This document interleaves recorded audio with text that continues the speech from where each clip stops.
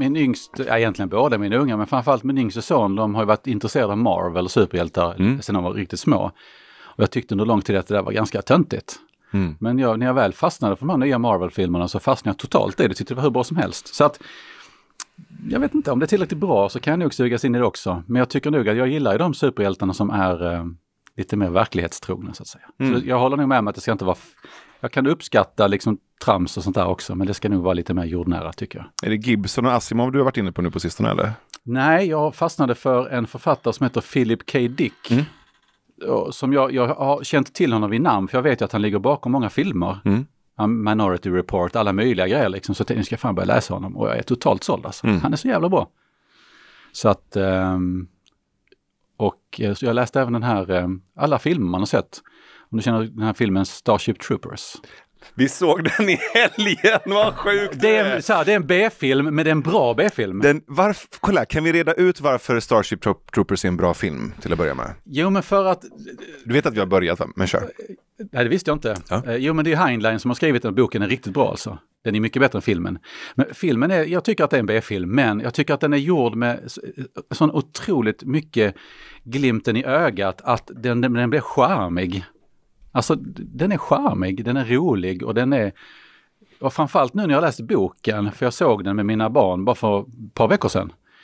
Eller när var det en vecka sedan? Jag minns inte, det var ganska nyligen i varje fall som vi såg den. Eh, och då såg jag den med helt nya ögon nu när jag har boken färskt i huvudet, då tycker jag ändå liksom att jag, jag, då, då går poängen igenom på ett annat sätt. För att när jag såg den första gången så kändes det mer som en, ja men en film som handlar om att, att skjuta konstiga aliens liksom.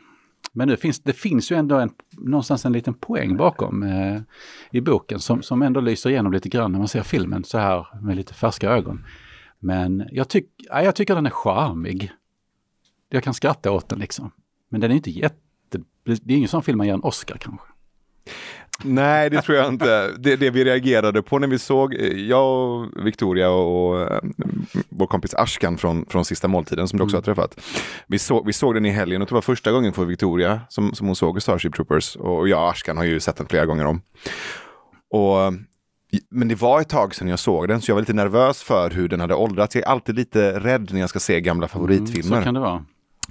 Eh, och ibland, i vissa fall så funkar de som, som Matrix och Fight Club håller ju hela tiden. Liksom. Ja, båda håller. Eh, och sen så finns det ju vissa filmer som man bara, åh fy fan, det där borde jag inte ha gjort.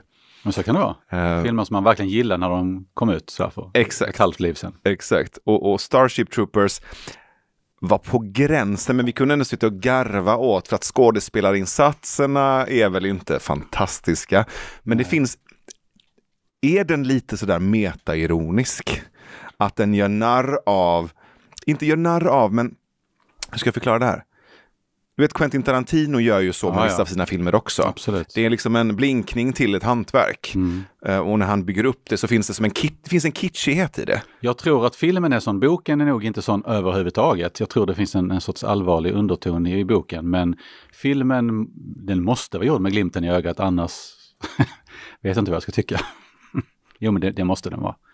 Man kan inte göra en sån film annars. Men du, du, du, du, gillar film och du läser mycket och så har jag förstått att du har liksom ett stort så här, Ja, jag älskar att läsa Arkiv och för jag älskar att social- se på film. Ja, för ja. populärkultur. Liksom. Ja, för fan, absolut. Mm. Och jag har haft, liksom under en stor del av mitt liv har jag försökt att, att bredda mig så mycket som möjligt. Ja, men jag tyckte man skulle läsa många klassiker, svenska och inte minst ryska. Jag totalt fastnade ett tag i rysk litteratur, men nu är jag tillbaks liksom i det här väldigt smala igen då. Synt från 80-talet och sci-fi och fantasy. Så att jag har liksom gått ett varv och är tillbaks i det jag egentligen gillar mest av allt. Men eh, jag är inte ledsen för att jag har läst och tittat på filmer som jag kanske inte skulle se just idag, men jag har försökt att, att bredda mig. Och kommit tillbaks till vad jag verkligen gillar. Så att, eh, Och vad är det? Ja, det är synt och sci-fi. Synt och sci-fi. Lite fantasy. Ja. lite förenklat men eh, faktiskt, men eh, lite så. Du var inne på tolken eh, Mm.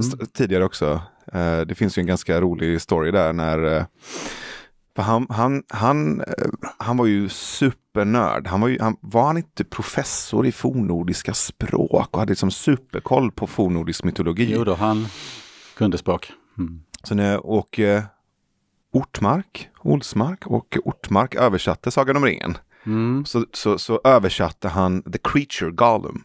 Till kreaturet Gollum. Det är sånt newbie-misstag så det finns inte. Så i första, tror jag, upplagan av Sagan om ringen-böckerna så heter han kreaturet Gollum.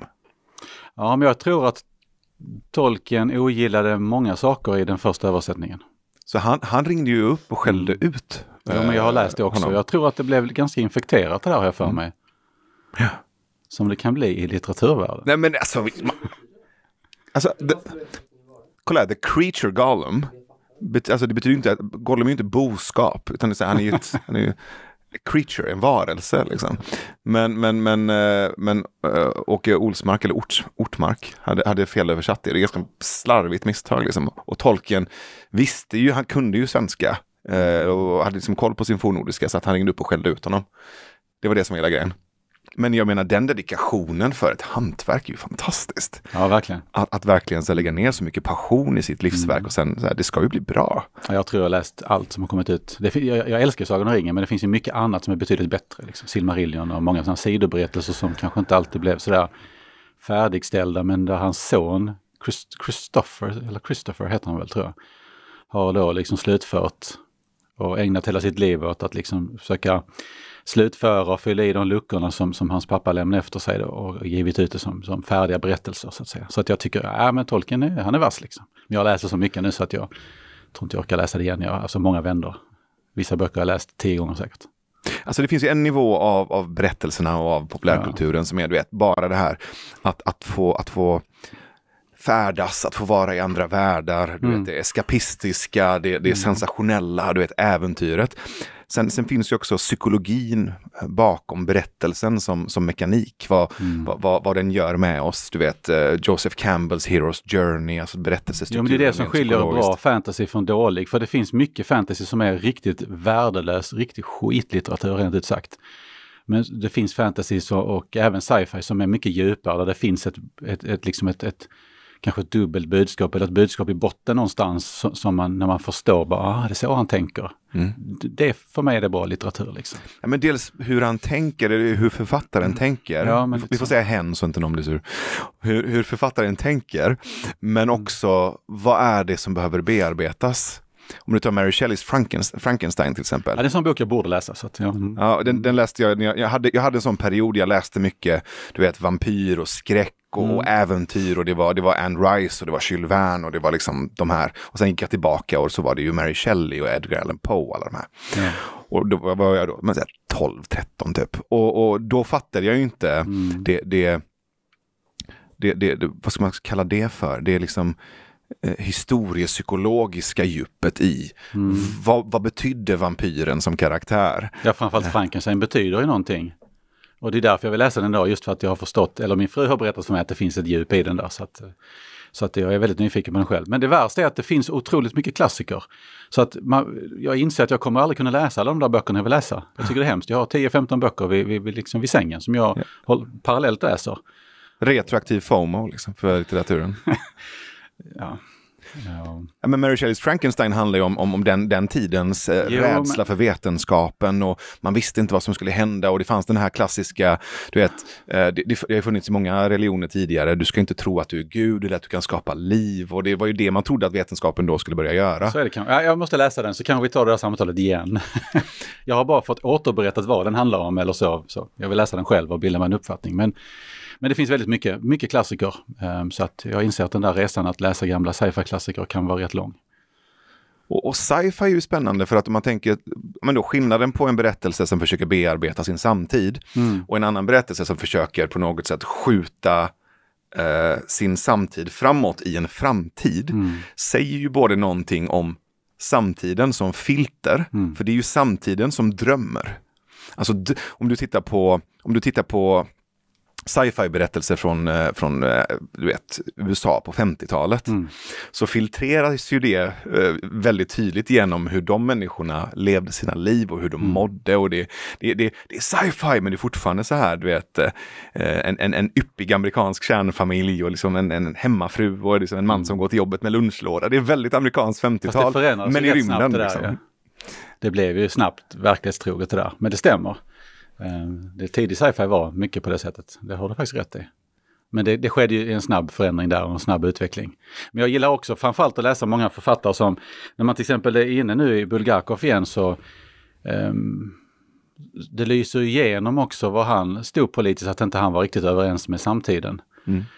Um, och hur han då försöker, det finns ju många sådana exempel, det, det, även i väst har det funnits författare som inte har vågat kritisera, vad vet jag, den kristna kyrkan och sen har man försökt att baka in sitt budskap på ett lite sådär, lite säreget, lite mystiskt sätt. Och det tycker jag är intressant att, att försöka nysta upp det där. Skillnaden är bara att idag vet vi ju det, jag kan ju bara läsa liksom på nätet så, så vet jag ju redan. Så att många gånger blir det ju inte den här eh, aha-upptäckten. Och det är ju en nackdel med att man läser den sortens litteratur så här långt efteråt. Att vi vet ju ungefär redan vad det betydde liksom. På den mm. tiden skulle man, fick man ju själv kanske upptäcka det. Jag kan, jag kan tycka det är lite synd det där.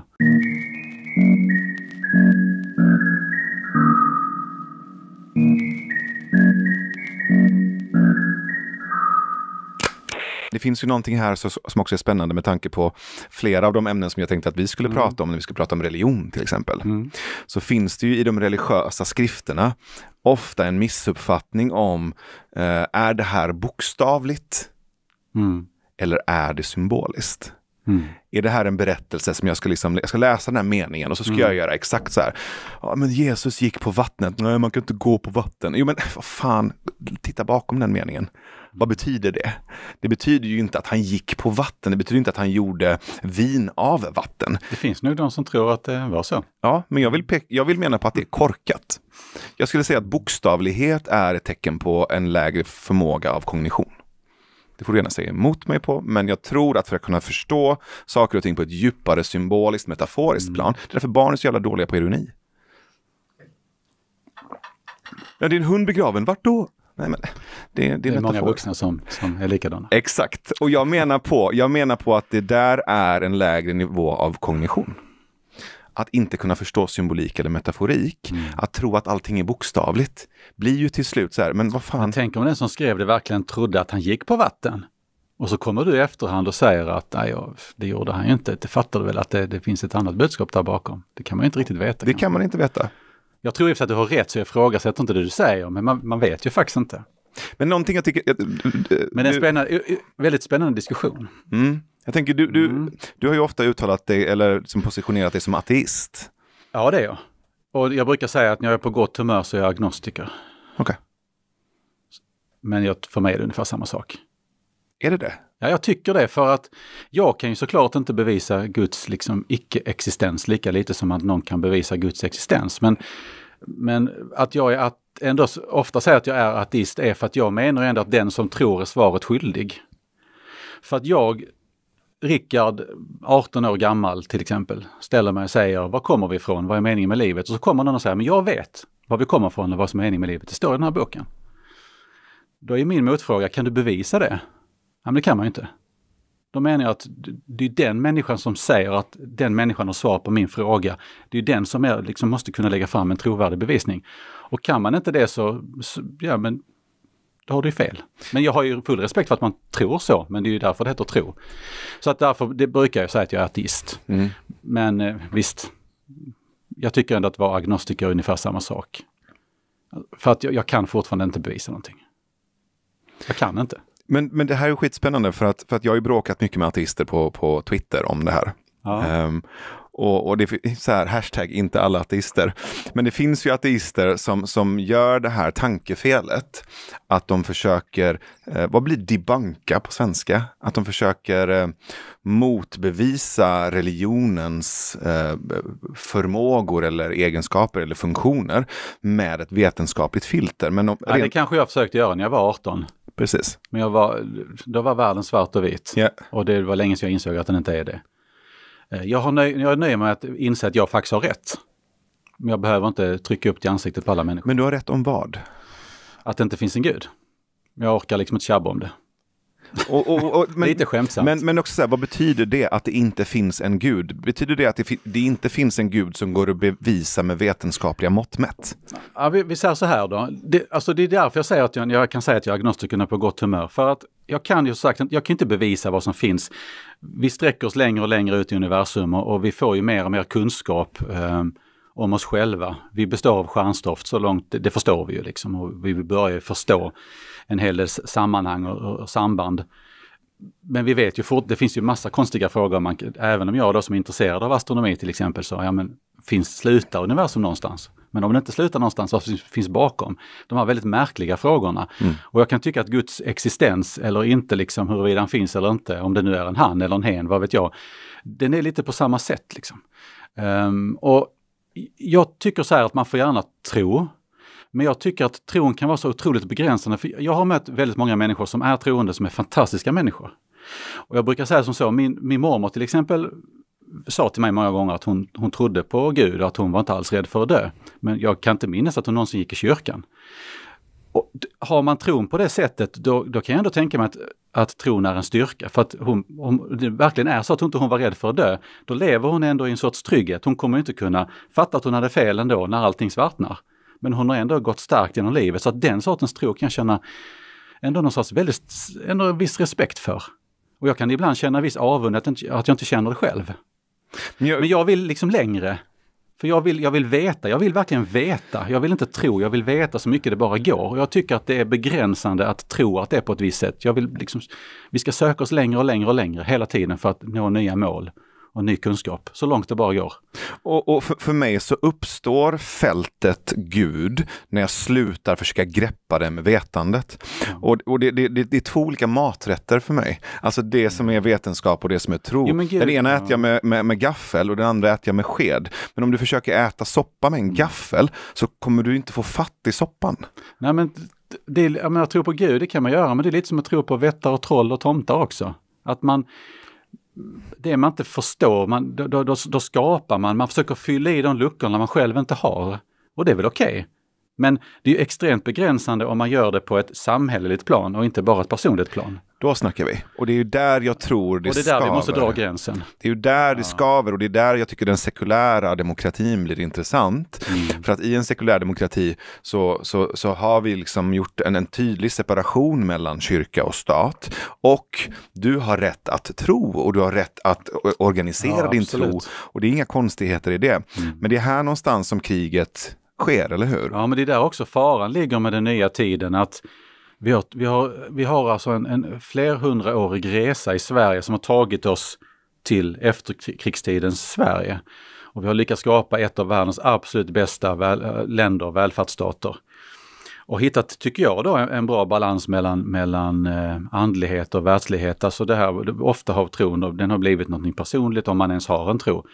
Men den finns där ändå i traditioner och högtider och så, vilket jag tycker är helt okej. Okay. Saker som förenar oss.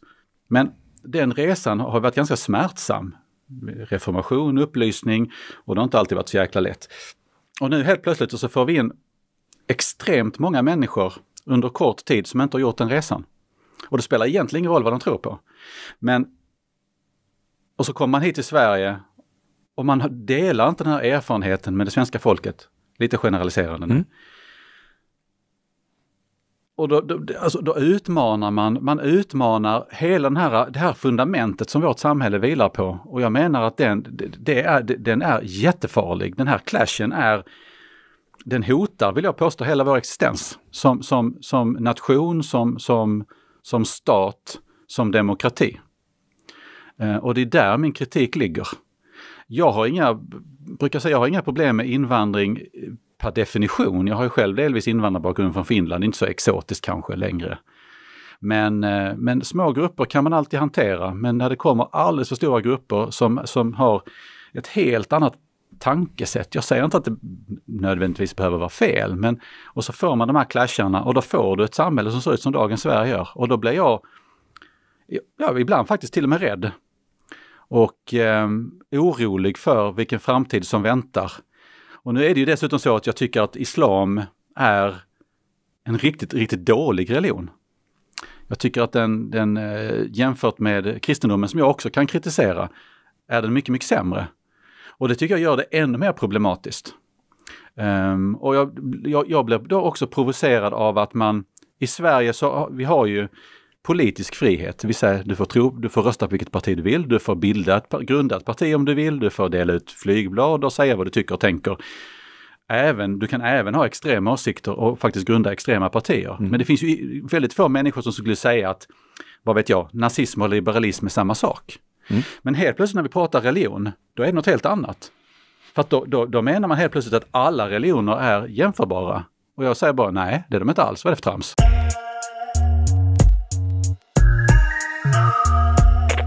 Vad är det du tycker är eh, dåligt med islam? Jättemycket. Um, dels för att den inte har gått igenom i det jag brukar kalla upplysningens stålbad som jag tycker är... Um, det var bra att kristendomen gjorde det. Och framförallt så gillar jag reformationen för jag tycker att protestantismen är betydligt bättre än eh, katolicismen till exempel. Jag tycker det är en avsevärd skillnad. Um, men det, man har inte gått igenom den förändringsprocessen i islam. Det känns som att man är flera hundra år tillbaks i tiden. Och att man inte har, att den har, jag tycker ändå att kristendomen någonstans har lyckats i det stora hela. Det finns såklart undantag. Så är, skiljer kristendomen på, på andligt och världsligt. För det mesta. Det finns ju länder där religionen är extremt stark, alltså kristendomen, och så är det. Men inte i vår del av världen. Medan islam, jag tittar ju bara ut i världen och, och, ser de länder som är, som bygger eller som har en muslims grund och ser att de i mångt och mycket är ganska dåliga länder. Och det är inte samma sak som att människorna är dåliga. Jag har jättemånga vänner som har bakgrund från Mellanöstern som jag har växt upp med och många av dem röstar på SD. Många kommer i och för sig från Iran. Det kan, det, det kan förklara ett och annat, för många kom ju efter revolutionen och allt det här. Men jag har också, tror jag, färgats av det jag har fått berättat av dem. Alltså de berättelser de har givit mig varför de flydde Iran och hur de ser på islam. Och det är klart att det har också förmodligen format mig. Men jag bara menar att hade islam varit en bra religion, då hade det också synts någonstans i den muslimska världen att det faktiskt är en bra religion. Men det, Men det blir så kategoriskt är. också. Att, ja, det är att, väldigt kategoriskt. Men att det är antingen bra eller dåligt. Alltså vi kan ju titta på, om vi tittar på islam och så tittar vi på kristendomen och så tittar, mm. tittar vi på judendomen. Jag menar, eh, självklart så ska vi kritisera ideologier, vi ska kritisera idéer, vi ska kritisera eh, religiösa trosuppfattningar. Mm. Um, men en religion är ju inte antingen bra eller dålig.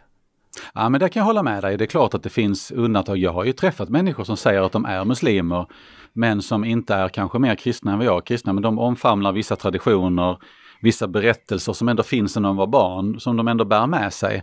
Alltså de har sållat bort det de inte gillar så att säga. Och det är klart att det finns ju olika versioner av islam, det, det, vet jag också. Men det finns ändå någonting som jag ändå tycker är en avsevärd skillnad. För, för att jag har läst Koranen, jag har läst Nya Testamentet. Jag läste aldrig Gamla Testamentet för jag tyckte, jag vet inte. Jag, nej, jag kunde inte ta mig igenom den helt enkelt. Du kan kolla på Game of Thrones, ungefär samma sak. ja, förmodligen. Uh, nej, men den, jag tycker ändå så, så ska man hitta grunden i en religion till exempel, och så får man nog gå tillbaks till, verkligen till grunden. Det är klart att man kan läsa Koranen, du kan läsa Bibeln, kanske Nya Testamentet och se vad som står där.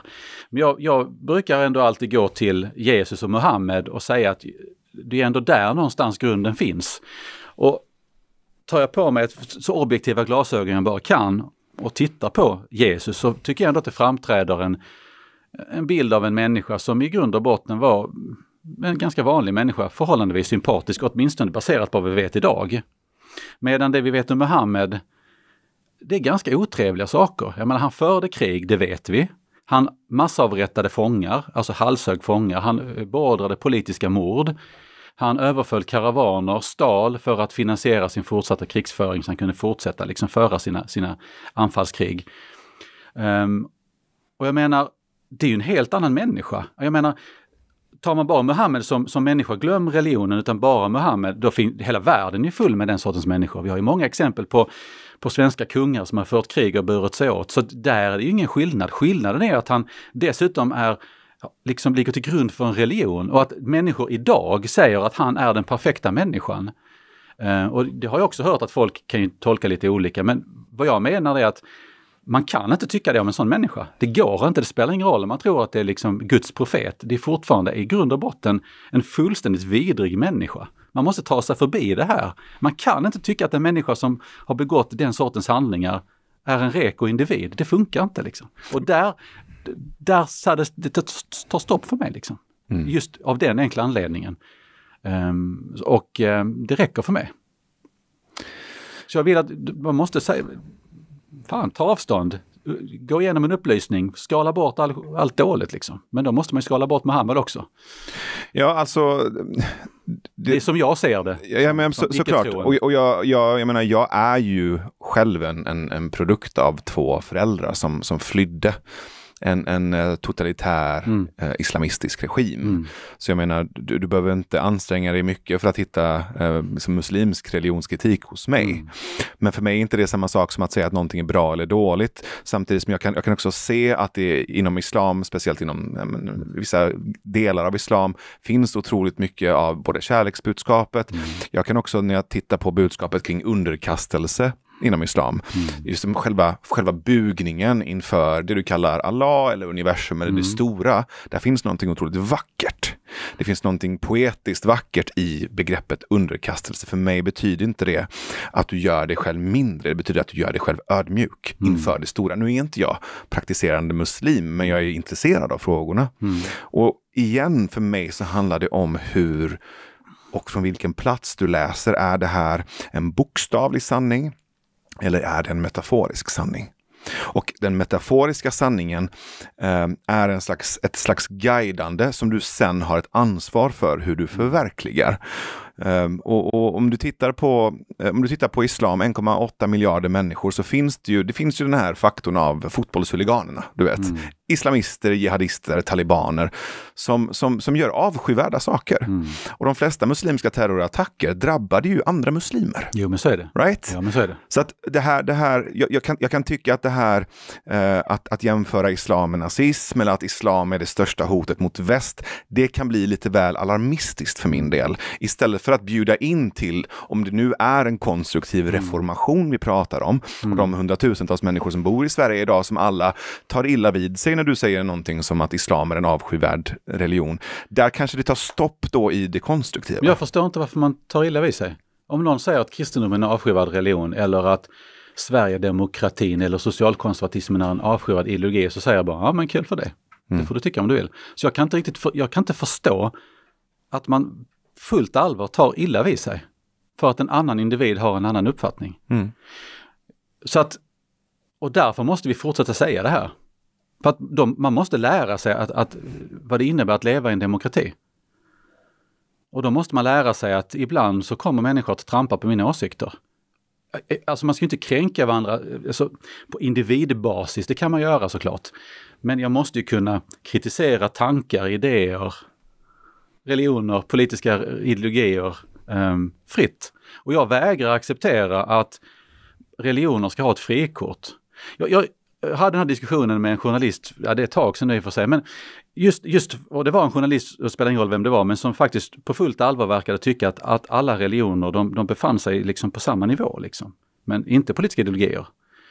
Och så sa jag, men hur kan du tycka det? Jag menar, jag ska ta ett exempel, alltså jag säger inte att det är världens bästa exempel, men den svenska naziströrelsen, den är inte speciellt stor. Vad är de? Några hundra, par tusen kanske? Ett de är inte tusen. jättemånga. Mm.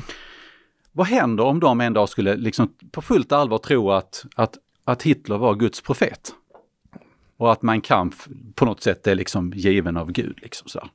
Men om de på fullt allvar skulle tro det, då skulle det vara en religion.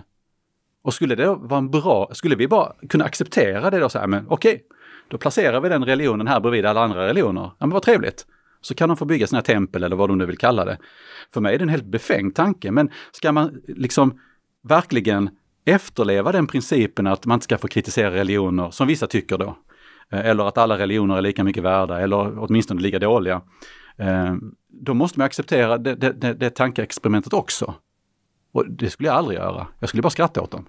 Så att jag bara menar att vi måste liksom ta oss förbi det här att, ja men vi har religionsfrihet, jo jag vet. Vi har politisk frihet också. Men lär dig förstå att vi är ett sekulärt land. Och jag anser att just den principen är, den är så viktig och den är, vi måste alltså göra allt vi kan för att säkerställa att morgondagens liksom, generationer får ynnesten att växa upp i ett, i ett sånt här bra land. Där man inte ska vara rädd för att fel tankar eller fel idéer eller att man säger någonting så kallat kränkande om, i det här fallet om religion, leder till att du blir straffad. Men det är ju dithän vi är på väg. Om man lyssnar in vissa debattörer på vänsterkanten och till och med en och annan liberal, vilket förvånar mig för att de brukar vara väldigt annars förespråkat någon sorts total yttrandefrihet. Så att det är det jag menar med att jag är rädd för att religionen, i det här fallet då islam, börjar ta en extremt stor plats för att den hotar vårt samhälle. Den hotar vår långa resa som, vi har, tag som har tagit hundratals år. Um, förmodligen hade jag för 150 år sedan kanske, vad vet jag, varit jättekritisk mot, mot kristendomen kanske. Det vet jag inte. Nej, men, jag menar, men det, det kanske det varit. Men det, det beror också på vad man menar med kritik. Alltså om du menar, om du menar att det i ett sekulärt demokratiskt samhälle med liberala värderingar byggt på upplysningsprinciper ska finnas plats för ett konstruktivt och gärna skavigt och mm. konfliktfyllt samtal för att göra varandra bättre, smartare och kunna leva tillsammans. Mm. Det är jag ju helt med på. Mm. Men jag tycker ju inte att det är det du bjuder in till när du säger att islam är en avskyvärd religion. Där stänger du ju på något sätt också dörren. Även om Men det kanske det så? Jag tror att du gör det, tyvärr. Jag tror att det blir effekten av när du säger en sån sak. För att om du på riktigt vill ha ett konstruktivt och reformistiskt samtal om hur de här hundratusentals muslimerna ska kunna leva tillsammans med oss mm. i Sverige, då hade du kunnat sitta med ett gäng imamer och religionsvetare och faktiskt titta på en sån konstruktiv plan istället för att mm. säga någonting sånt i tv. Jo men grejen är att... Det är, här, det är slarvigt. Ja. Nej, jag vill påstå att det är medvetet. För att vi hade inte suttit här annars. Ja, du gjorde en Alexander Bard. Nej men alltså allvarligt talat, jag, jag brukar jag fattar inte... Vad du vill, jag fattar vart du, vad du vill åt och... Eh... Och grejen är, men så här också, om jag säger så här att nazismen är en avskyvärd ideologi. Mm. Skulle svaret då vara att, ja men du kan inte säga så. För att nu ska vi bjuda in de här nazisterna. Jag säger inte att alla muslimer är på ett visst sätt, men jag, jag pratar om ideologin här nu. Det måste jag ju få säga. Men de flesta skulle tycka att det var helt okej. Okay. Mm. Det kanske finns en annan nazist som hade sagt, den där jäkeln ska vi plocka någon gång. Men de flesta hade sagt att jo men han har faktiskt rätt Rickard den här gången. Jag tycker ju så. Men jag behöver, liksom, det finns ju ingen poäng med att säga det för de flesta håller ändå med. Ja, jag säger det, en, det händer en annan gång att jag brukar bråka med antisemiter på, på sociala medier. Men eh, jag brukar skälla på dem och försöka trycka ner dem. Eh, nu är de inte så jättemånga, men de dyker upp lite här och där. Men jag måste kunna säga det om en religion också. Och så länge jag inte kan det, då tänker jag fortsätta göra det.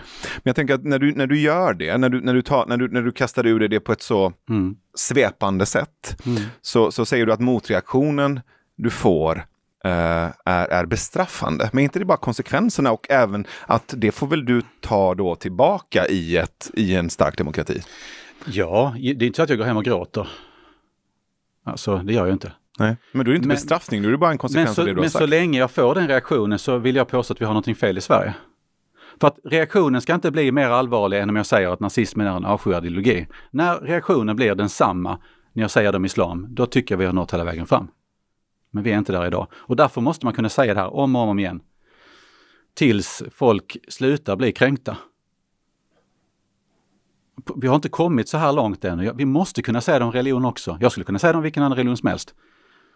Kanske inte om buddhismen, för jag tycker ändå att buddhismen är helt okej. Okay.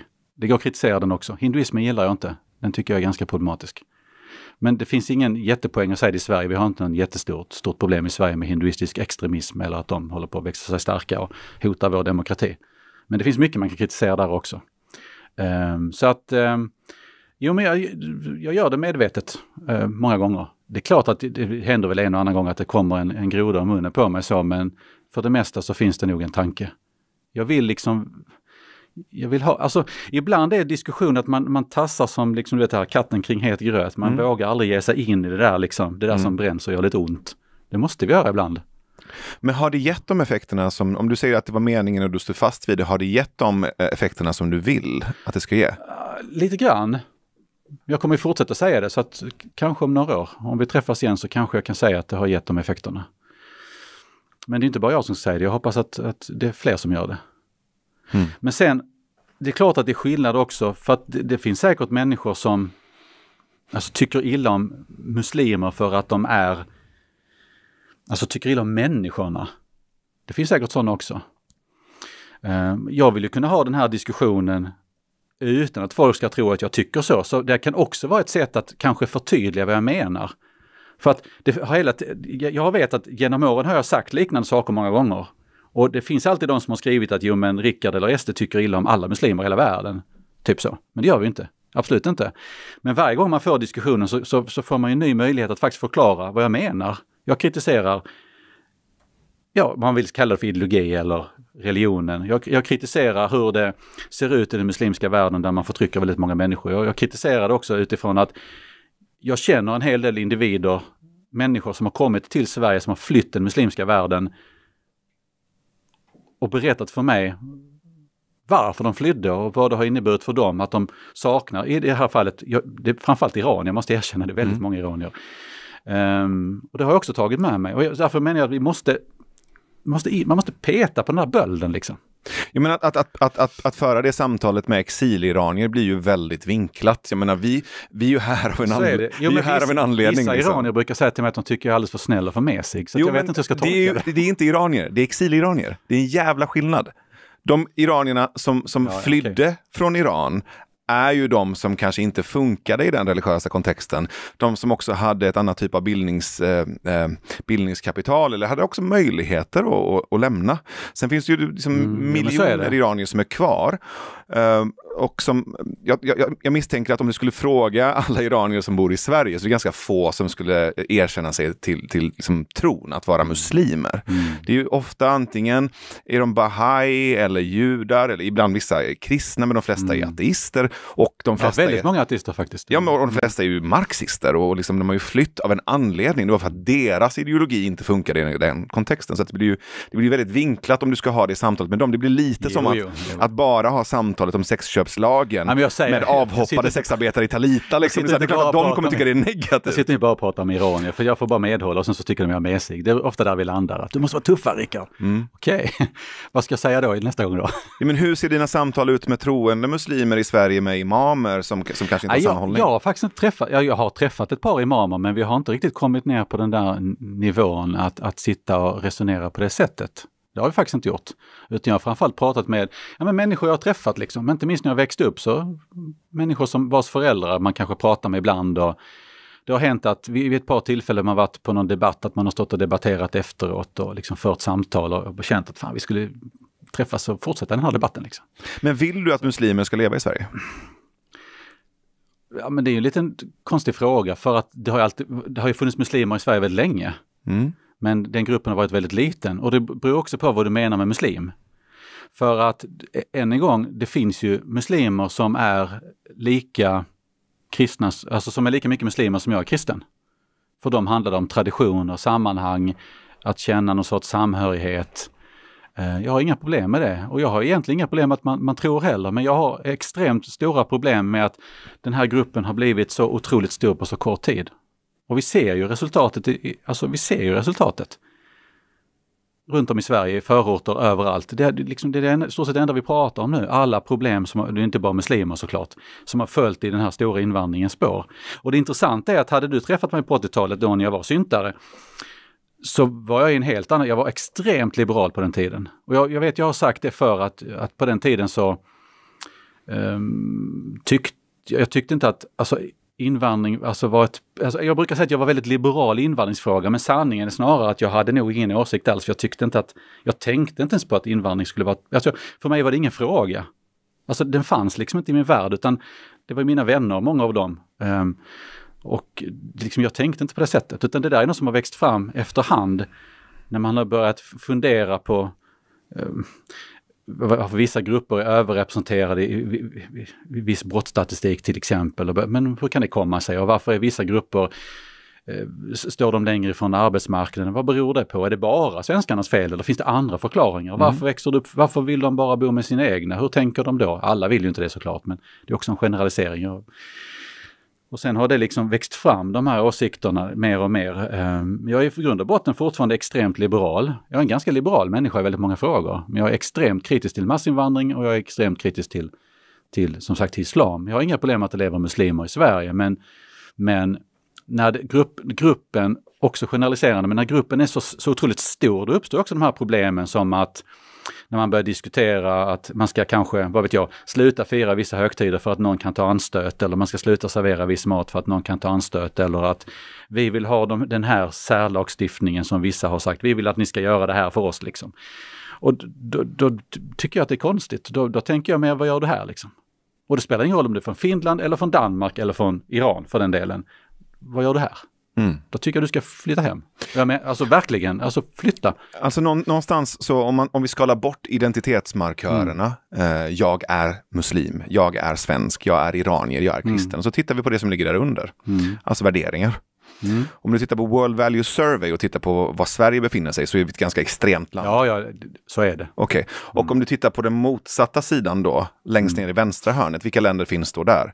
Jo, men det är ju ofta de nationerna och de kulturerna mm. vars folk som har vandrat in till Sverige där skavet uppstår. Yes. Så för mig så uppstår det inte på grund av identitet utan det uppstår i ett misslyckande till förhandling av vilka värderingar som ska vara gällande i den svenska kulturen.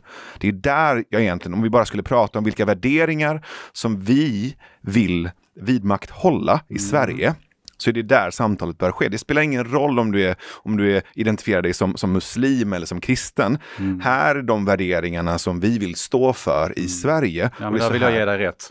Det är så här vi vill forma det svenska ja. samhället. Och det är ju en förhandling.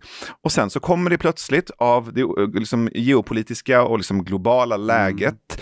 en effekt eh, av miljontals människor som är på flykt. Och det kan vi ju diskutera, en lång analys av vad det beror på, vil, mm. hur, hur världen hänger ihop och hur liksom, det kan finnas vissa politiska dominoeffekter av det. Mm. Men plötsligt så står det hundratusentals människor och knackar på dörren till mm. det svenska folkhemmet som är byggt på homogenitet.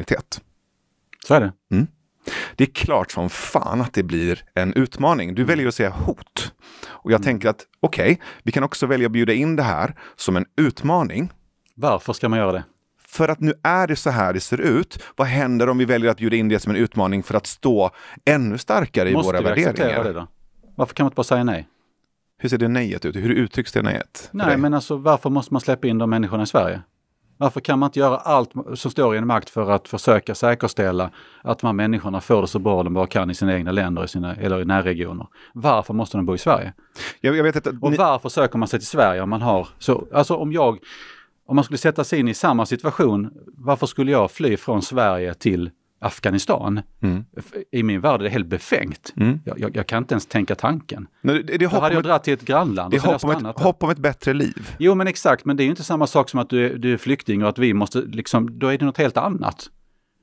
Det är klart att alla människor i hela världen vill leva bra liv och det är klart att alla mm. människor mm. oavsett bakgrund vill att, jag vill att min familj ska ha det bra, jag vill att mina barn, för, inte, de flesta, det finns ju en annan ex extremist mm. som tycker tvärtom. Mm. Men att mina barn ska få gå i skola och de, mm. de ska liksom växa upp, och de ska få bra utbildning och bra jobb och kanske ta hand om mig eller vad vet jag. Men de flesta människorna tänker på samma sätt. Jag är helt övertygad om det. Mm. Men då måste vi också försöka möjliggöra så långt det bara går att de flesta människorna får möjligheten att växa upp under den sortens förhållanden i sina länder. För att vad som nu händer är att vi på grund av den politik man har fört några, några årtionden så är vi på väg att rasera det som har tagit århundraden att bygga upp här i Sverige. Mm. Och vi, jag tror att vi kan, jag, jag, brukar säga så här, jag är rädd för att mina barn eller åtminstone kanske barnbarn, och jag hoppas jag får barnbarn, att någon gång i en framtid så kommer de att se tillbaks på den här tiden, om det vill sig riktigt illa, att det här var bara en parentes i svensk historia.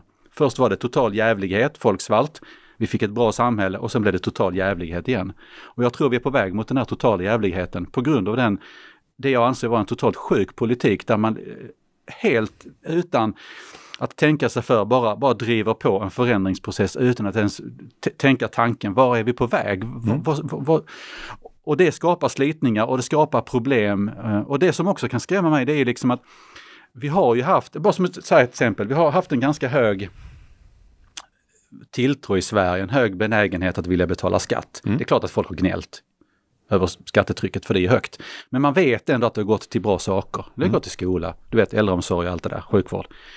Men det är så många vänner till mig, inte bara sverigedemokrater utan andra då som, som, som finns som man träffar på ibland. Nästan alla resonerar på samma sätt.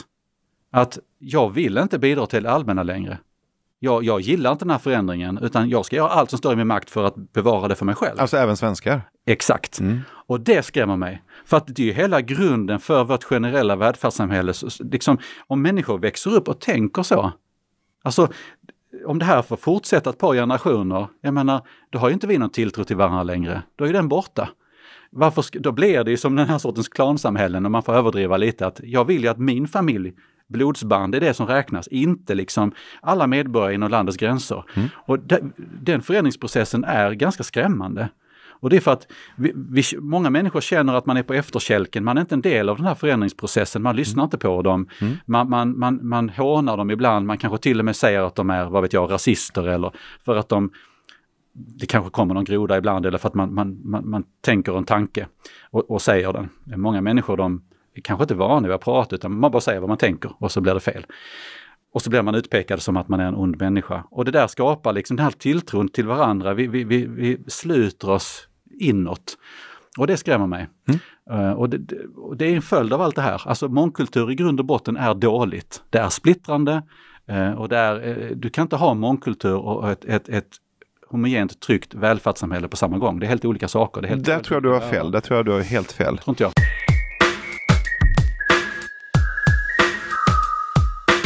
Det blir väldigt kategoriskt igen att det är någonting antingen bra eller dåligt. Om, om vi ska bara backa bandet lite. Yes. Så när du säger att det har kommit hit väldigt många människor på väldigt kort tid. Ja. Det stämmer ju. Mm.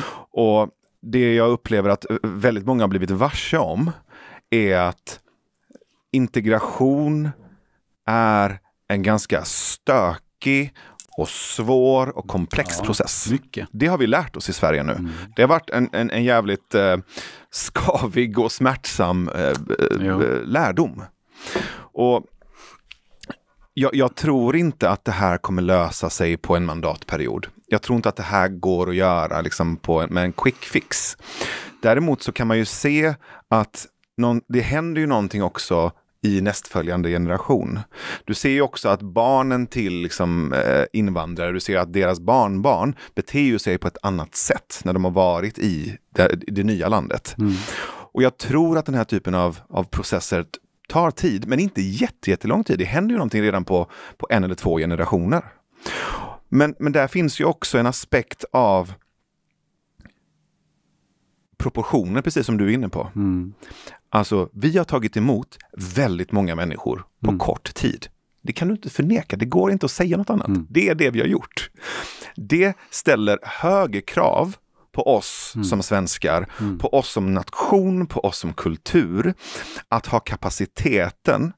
Och den kapaciteten är inte bara eh, mekanisk eller i form av du vet, de maslovianska behoven. Utan det är också i form av en, en, en, en eh, ett offentligt samtal. Det är också en, en, en, en, större process. Jag menar, det handlar om allt ifrån hur grannar är med varandra, hur vi pratar med varandra, mm. hur vi pratar om värderingar, men också det här med frågan om den svenska kulturen. Mm. I, I den svenska kulturen så upplever jag, och det finns ju såklart också forskning på, på det, men det, det finns en, en eh, ett konfliktundvikande en slags snällism. Ja men okej, okay, folk kommer hit och ja, men vi ska inte trampa någon på tårna, vi ska inte säga någonting illa om det här och vi ska... Mm. Och det har i bästa fall varit naivt. Mm. Men i värsta fall har det varit paternalistiskt. Att vi inte ställer krav på människor som kommer hit och där tycker jag att vi har att jobba på. Mm.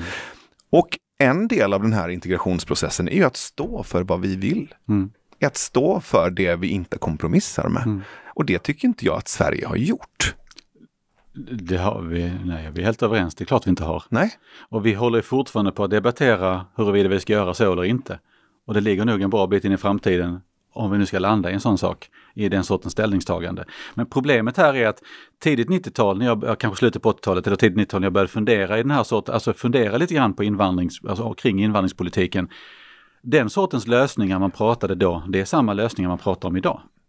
Och det har gått 30 år. Som vadå till exempel? Ja men när man pratar integrationspolitik, det, det, vi måste ha fler integrationsprojekt och vi ska vara mer öppenhjärtiga, vi ska släppa in dem, vi ska erbjuda jobb. Alltså det är samma sorts diskussioner.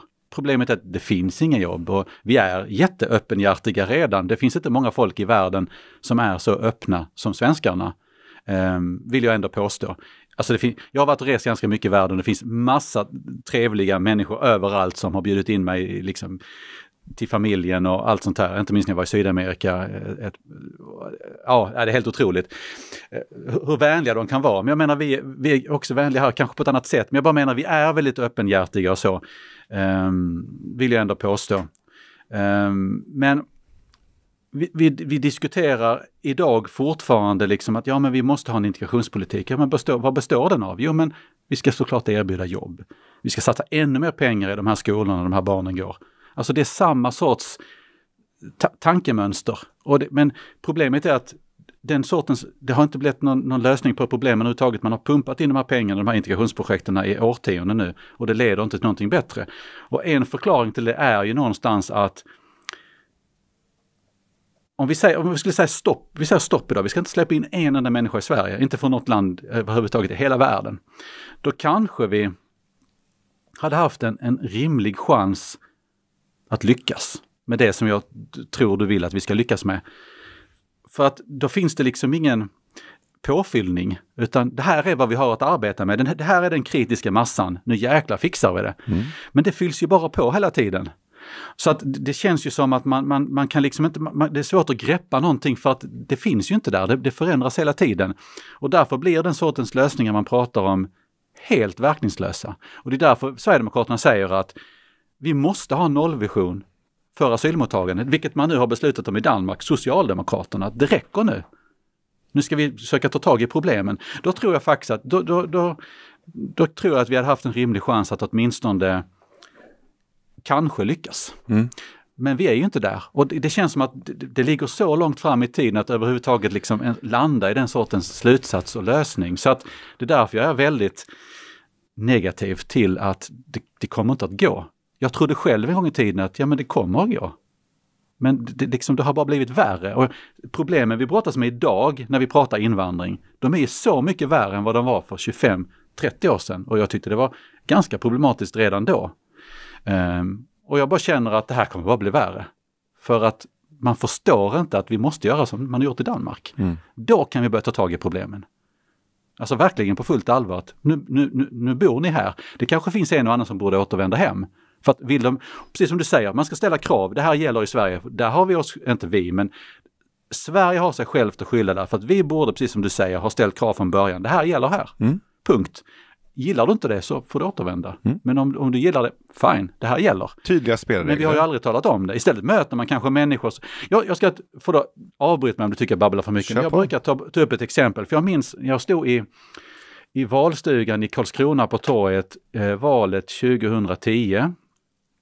Och det var ju det året vi kom in i riksdagen. Um, och jag älskar att stå i valstugan och prata med människor. Ibland så skäller de, ibland skäller man tillbaka och så har man rätt så schyssta diskussioner. För det mesta att dricka lite kaffe och så. Jag, jag, tycker det är jättekul. Jag önskar man kunde göra det oftare. Men jag, för där, där fanns en kvinna, jag vet inte om hon jobbar kvar, som jobbade, jag tror hon jobbar som SFI-lärare i Karlskrona och som jobbade med nyanlända. Och jag vet vad hon tycker om mig och mitt parti. Alltså det är liksom, det blixtrar när hon tittar på mig. Man hade ögonen dödat så hade jag varit död för länge sedan. Jag hade bara liksom legat där på marken.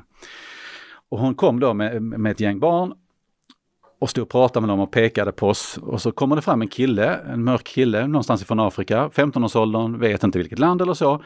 Men lite på, på, på knagglig svenska. Och det, det första han säger till mig, och jag minns inte exakt, men någonting i stil med att ja, men vad har du att typ vara stolt över? Julgranen är ju inte ens svensk. Mm. Och, så, och så bara stod jag och tänkte, men varför säger du så? Jag tror inte det är så att när de, om det han har kommit hit med sina föräldrar, det vet jag inte. Jag tror inte att de stod vid gränsen och sa till sin 15-åriga pojke eller 14-åriga eller hur länge han har varit i Sverige. Nu min son, nu åker vi in i Sverige. Tänk på en sak, julgranen är inte svensk. Jag tror inte att de har sagt det. Förmodligen är det den här sortens människa som, som den här läraren som har tutat i barnen det här. Förstår du vad jag menar? Jag förstår vad du menar. Så, det är det de lär sig. Mm. Och det är det de då bär med sig när han växer upp. Det är det han får höra. Att det finns ingen svensk kultur. Ja, du vet, den här sortens tjafs. Och hur ska den ungen veta vad gäller i Sverige? Vilka mm. regler gäller här? Och, och, det gör mig orolig. För att det är ju inte den här killens fel, utan det är förmodligen den här läraren eller andra som han möter som resonerar på det sättet. Och det är ju farligt. För det är raka motsatsen mot det du efterfrågar, en sorts att man ställer krav och förklarar Välkommen till Sverige, det här gäller här. Jo, men också en slags nationell självkänsla och stolthet. Den skriver jag under på vilken dag som helst. Mm. Att stå för vad vad vi är stolta över och hedrar i Sverige. Absolut. Att, att, att eh, titta på den svenska kulturen och överhuvudtaget definiera den, erkänna den. Att det är en, ens är en diskussion, det tycker jag är helt, Mm. Ja, det är eh, det är helt befängt och Ja. korkat. Det är klart att det finns en svensk kultur. Mm. Jag jag börjar nästan tro att, att inte säga att det finns en svensk kultur är en del av den svenska kulturen, om du är med. Ja. Jag har en Alltså- kompis, jag bara kort, han, från Mexico City, han var här eh, andra gången 2013 tror jag det var och hälsade på i Karlskrona. Ehm, och vi, vi pratar mycket om det här. ehm, och nej, 2003 var det, så länge sedan är det. Förlåt mig, det är ju så länge sedan han var här. Och då pratade vi om det här och jag sa, vet om att det finns liksom politiker i Sverige som säger att det inte finns en svensk kultur. Och han blev, han blev ganska, det var andra gången han var här, han blev ganska irriterad. Ja men så kan man inte säga, ni har ju det här och det här och det här och, och det här och det här. Jag gillar ju dig och du gör ju det här och ni gör ju så och så och så. Alltså han såg det nyktrare och bättre än vad många svenskar gör. Alltså han såg det med sina utifrån ögon. Det är samma sak som jag i andra länder ibland och saker som jag gillar. Liksom. Jag älskar Japan till exempel. Det finns mycket där som är kanske dåligt men det finns ju mycket som är jättecharmigt och jättebra. För mig är det jätteenkelt att peka ut vad som är japansk kultur eller som jag tycker är japansk kultur. Så att, så att det, det, det, där ligger nog också tyvärr något i den svenska Men jag tror också att det finns en förljugenhet och feghet i det. De flesta svenskar vet ju vad som är svensk kultur. De vet det för sig själva, men problemet kommer att de fegar när det väl gäller att stå för Ja, så eller det. säga det. Ja. Och det tror jag har legat oss i fatet i hela den här integrationsprocessen. Ja men definitivt, det är klart att det har gjort, det har ju definitivt förvärrat problemen, det är jag helt övertygad om. För jag menar, det, det, det blir ju också någon slags Alltså när människor kommer till Sverige, och det här har jag ju erfarit själv också, och, och uppfattar som att det finns ingen svensk kultur och man får göra lite som man vill och det finns inga, in, inga riktiga spelregler. Om det är den uppfattningen du får och den som sprids, ska du då beskylla de människorna för att de inte följer reglerna som du inte har berättat om? Nej men det ligger faktiskt en del i vad du säger. Och det är därför Då blir det en också- dubbelbestraffning av människor som kommer hit för att du har inte haft ryggrad nog att säga vad det är som gäller. Och sen ska du bestraffa Ja, dem för att du har det. gått, ja, men du gör visst, men nu pratar jag om ett metaforiskt du. Du har Ja, gått och knutit skojar. handen i fickan och sen går du hem och så missnöjesröstar du istället för att här, stå upp för din kultur för fan. För fan, jag stryker under på det. Ja, jag håller, jag håller med. Och sen när du, kan, när du står upp för den Mm.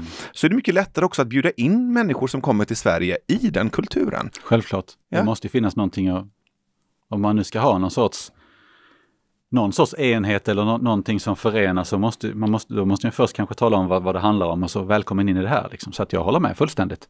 Annars så blir det ju jättekonstigt. Mm. Så att, så att för, mig, för mig löser ju inte...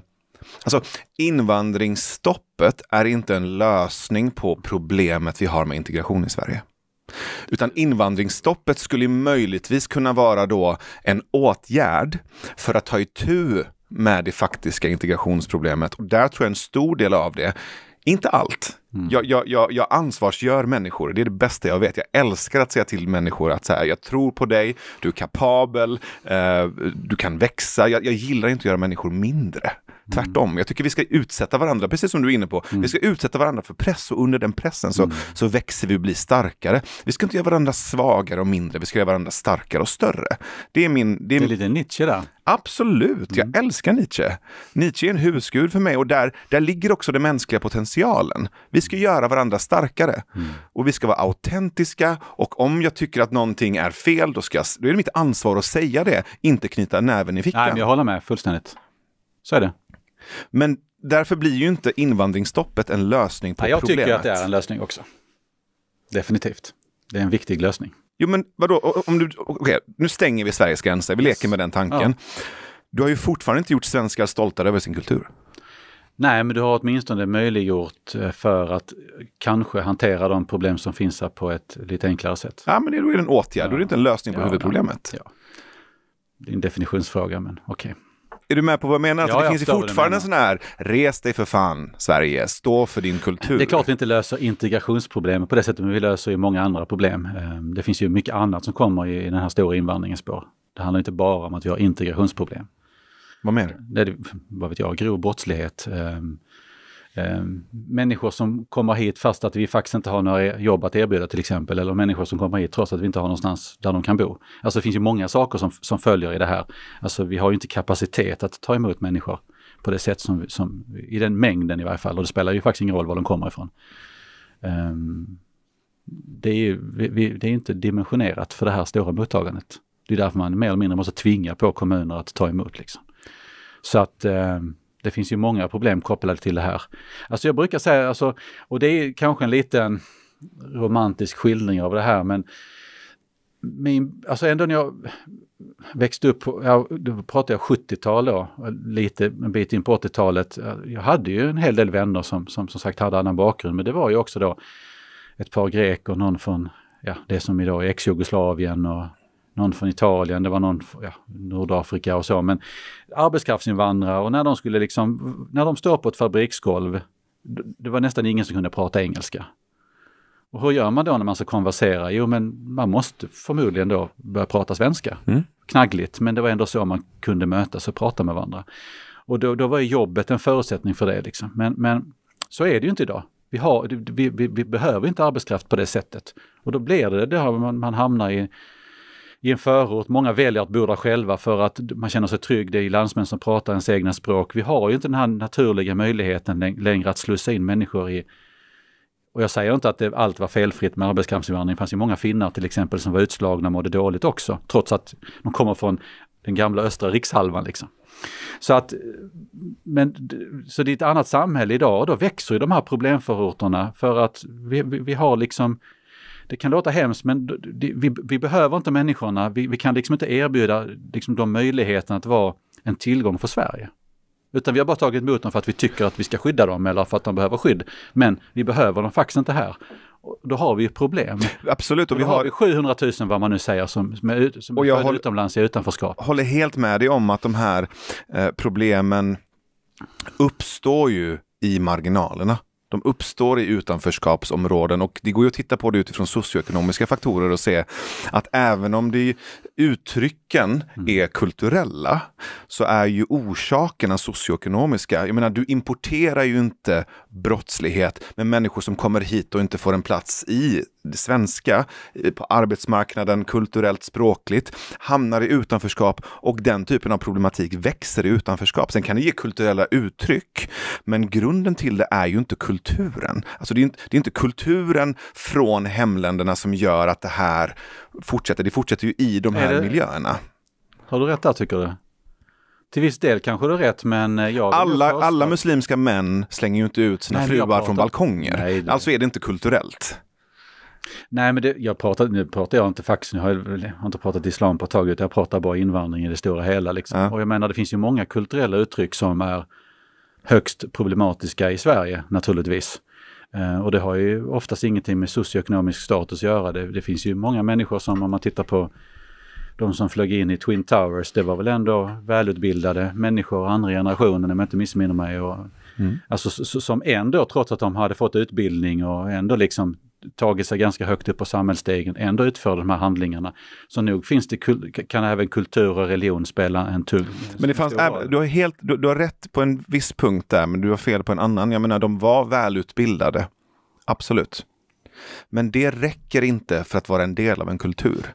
Nej, nej, nej. Det, nej, finns, nej, tydliga, det, fin, det, finns andra förklaringar också på... på jag, jag har ju liksom läst mycket om just den här gruppen och du har helt rätt, det här är andra generationens mm. unga män som har radikaliserats. Du kan inte radikalisera en person som är inkluderad i majoritetssamhället oavsett om det är radikalisering till nazismen eller till men islamismen. Men om man inte vill vara en del av samhället då? Ja, men var kommer, var, kommer, väldigt... var kommer den oviljan ifrån?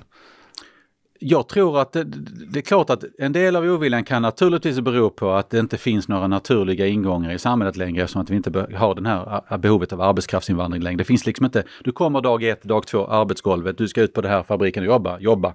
Så, du ska försörja dig själv. Det, det, det funkar inte så längre. Men väldigt många människor som, det är min uppfattning, jag har ju pratat med väldigt många som, som säger det själv att nej men vi vill inte vara en del av det här samhället. Jag vill mm. bara tjäna pengar så ska jag hem, jag skiter fullständigt i Sverige. Mm. Och då, då, liksom, då, menar man på att ja, men jag har ju mitt, jag vill inte vara en del av ert. Och jag har stött på ganska många sådana människor, även de som är födda i Sverige som har den sortens värderingar. Ja, men jag är bara här tillfälligt. Mm. Ja, men du är född här. Nej, men jag är bara här tillfälligt. Jag ska återvända så fort jag bara kan och jag ska ganska grova ord kan man säga. Göra allt jag kan för att tjäna pengar, sen ska jag hem. Liksom. Mm. Jag gillar inte en Sverige. Så att, och det, det, är ju deras eget fel vill jag påstå. Och någonstans så, så det frodas ju även i vissa grupper den här sortens uppfattningar och åsikter. Och det finns säkert, som, precis som du säger, det finns många förklaringar till det, men i mångt och mycket vill jag också påstå att det, det många gånger ligger hos dem själva. Absolut, och jag, som jag sa tidigare, jag hatar att göra människor till offer, speciellt invandrare, för att den, de låga förväntningarnas rasism för mig är på, på jag tar hellre en känga i huvudet Alltså på riktigt, mm. än, än det här, du vet, låga förväntningarnas rasism, den här smygrasismen som frodas överallt. Mm. Jag tycker att det är vidrigt att behandla människor som mindre vetande, mindre kunnande, mindre kapabla. Ja, det håller jag med fullständigt. Hemskt. Absolut. Så hellre fysiskt våld av ett gäng nassar än det, vilken dag som helst. Ja, jag tycker fysiskt våld är dumt också. Nej, men du alltså nu, jag, jag hårdrar det såklart.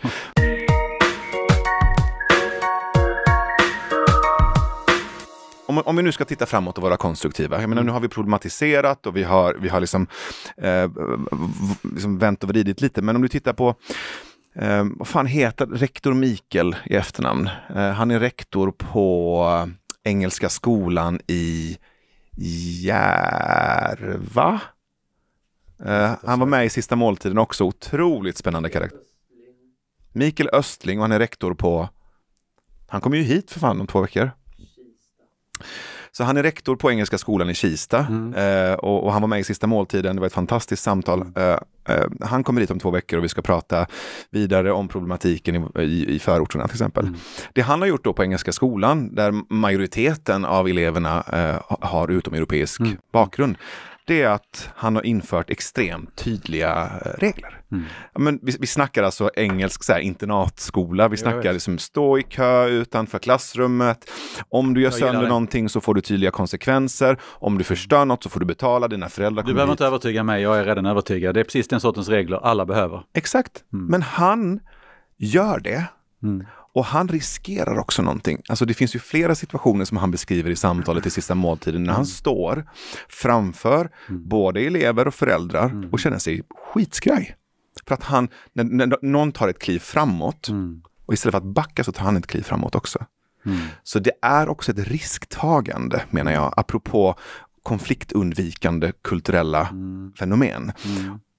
Du behöver också ta en risk när du står för någonting. Jo men så är det, självklart är det så och det är kanske därför många inte vågar stå för någonting. Absolut. För att det innebär en risk. Exakt. Um, så att, uh, och den stora risken i Sverige har ju varit snarare då en sorts vi bryr oss väldigt mycket om vad andra tycker, mm. tror jag att svenskar gör överlag. Mm. Um, och det är en skugga, alltså det är en skugga, en kulturell skugga, eh, eller en kollektiv skugga. För att från början är ju det en kollektiv vacker egenskap, alltså den mm. svenska gemenskapen, konsensuskulturen. Eh, vi, vi, har den här liksom föreningskulturen, vi frågar alla vad de tycker, men då köper vi en blå saftmaskin. Men alla tyckte att det var bra. Mm. Nice, då kör vi på det. Mm. Det kommer ju någonstans ifrån eh, en, en vacker tradition mm. eh, som sen har överdrivits och hamnat i sin skugga, om vi ska prata mm. liksom jungianska.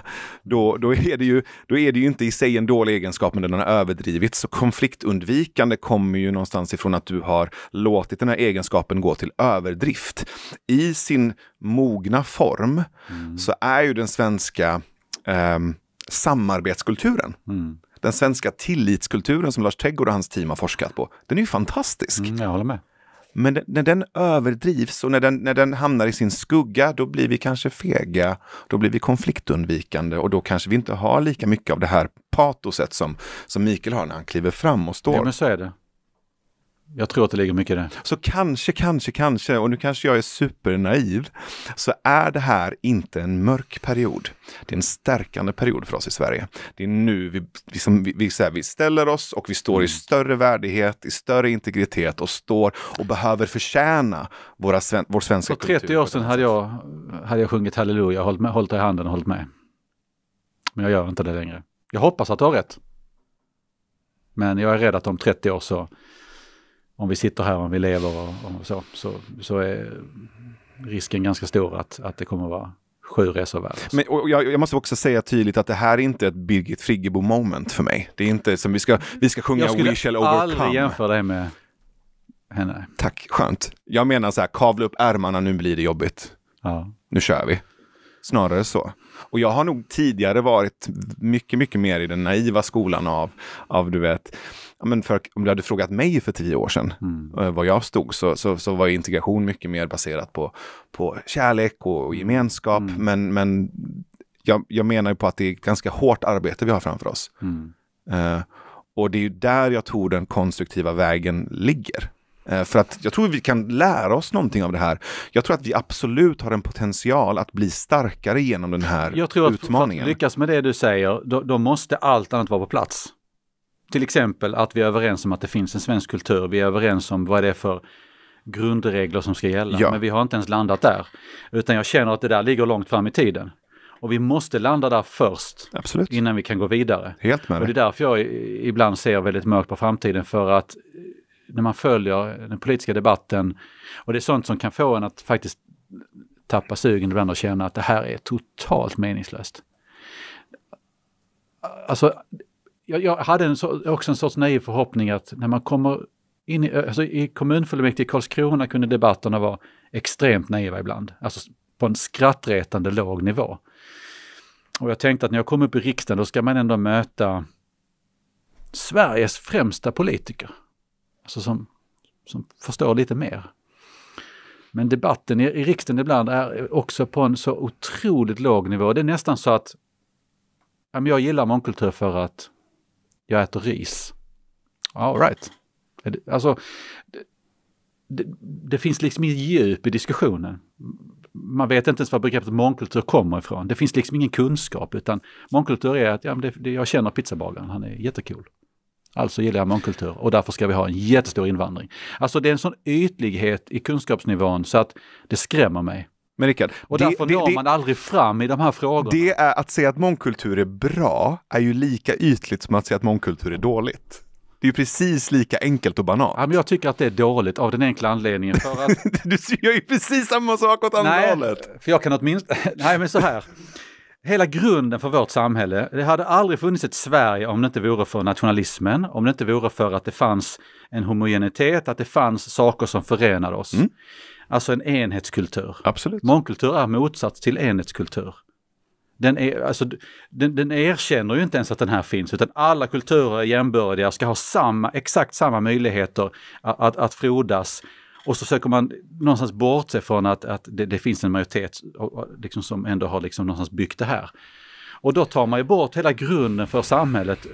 Det, alltså diversity, mångkultur, det, den, den är farlig. Om, om det är så du tolkar mångkultur, Ja, det är så jag menar att den ska tolkas, för det är liksom i dess ursprungliga koncept. Liksom. Det, det är så mångkultur är. men är inte det, det du pratar om nu, och det kanske det låter som, som lingvistiska hårklyverier, Mm. men är inte det du pratar om mångkulturalism? Som ideologi? Jo, men jag, men- ja, men jag, det, För är det, det är det som någonstans genomsyrar allting. Jag tycker inte man kan bortse från, från, från det ena. När, alltså, För om du frågar mig, om, om, om Ja. vi skulle prata nu, om vi skulle prata om integration och, och mångkultur, så för mig så handlar det om, nu tar jag ett papper här och liksom lägger det här framför oss.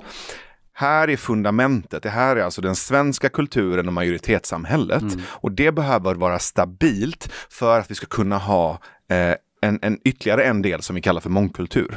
För mig är inte ett Mm. men hur mångkultur... många tror du resonerar på det sättet? Alltså, det, så, som sagt, så många debatter med, med riksdagsledamöter som inte ens, de håller inte med dig. Du har ju fel, anser ju de. För det, det finns ju liksom ingen gemensam grund. Och finns den så är den dålig. Det är klart som fan vi måste ha en ifrån. gemensam Ja, grund. men det är det som är problemet. De fattar ju inte ens det, de flesta. Så, åtminstone inte de jag har mött och debatterat med. De, de förstår liksom inte ens konceptet gemen, alltså det, det är någonting fult.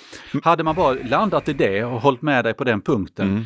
ja men okej, då, då, då kanske vi någonstans kan börja prata. Mm. Men man har ju inte ens landat i det ännu. Och det är det som gör att jag någonstans ibland blir, eller väldigt ofta, rädd för framtiden för att man har inte ens fattat det väldigt enkla. Och har man inte ens liksom, kan man inte ens erkänna att den här grunden finns, då kan man inte heller sätta ut de här, de här gränserna som du pratar Mm. om. Det, så att, Det är lite som om du tar en, Mustafa Panshiri brukar ju ha den här fotbollsmetaforen. Jag tycker den är, den är valid. Ehm, den är giltig här för att om du, om du bjuder in människor till en fotbollsmatch Mm. så behöver de här människorna du bjuder in veta att vi ska spela fotboll. ja men det är Alltså det, det är första förutsättningen, annars blir det ju kaos. Kommer någon med jävla hockeyklubba, andra kommer med en gris, på vad ska vi ja, göra? det är därför det är kaos idag ju.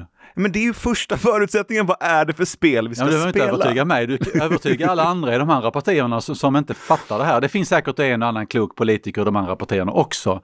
Jo men jag menar, det kan ju inte invandrare göra, det måste ju svenskarna säga vad Men det är själv, för jag spel har vi ingen annan uppfattning. Nej. Det är så många gånger vi har sagt att även till våra företrädare, politiker, när jag är ute och föreläser om ideologi till exempel, att vi måste inse att vi, vi, vi, vi kan inte skylla på de människorna som har kommit hit. För Mm. då är vi inne på det här igen. De vill bara ha ett bra liv. Exakt. De har förstått, om jag åker dit så kan jag få ett bra liv, åtminstone mm. betydligt bättre än det jag har nu. Alltså det är, det är någonstans en mänsklig egenskap att söka sig till det som är bättre.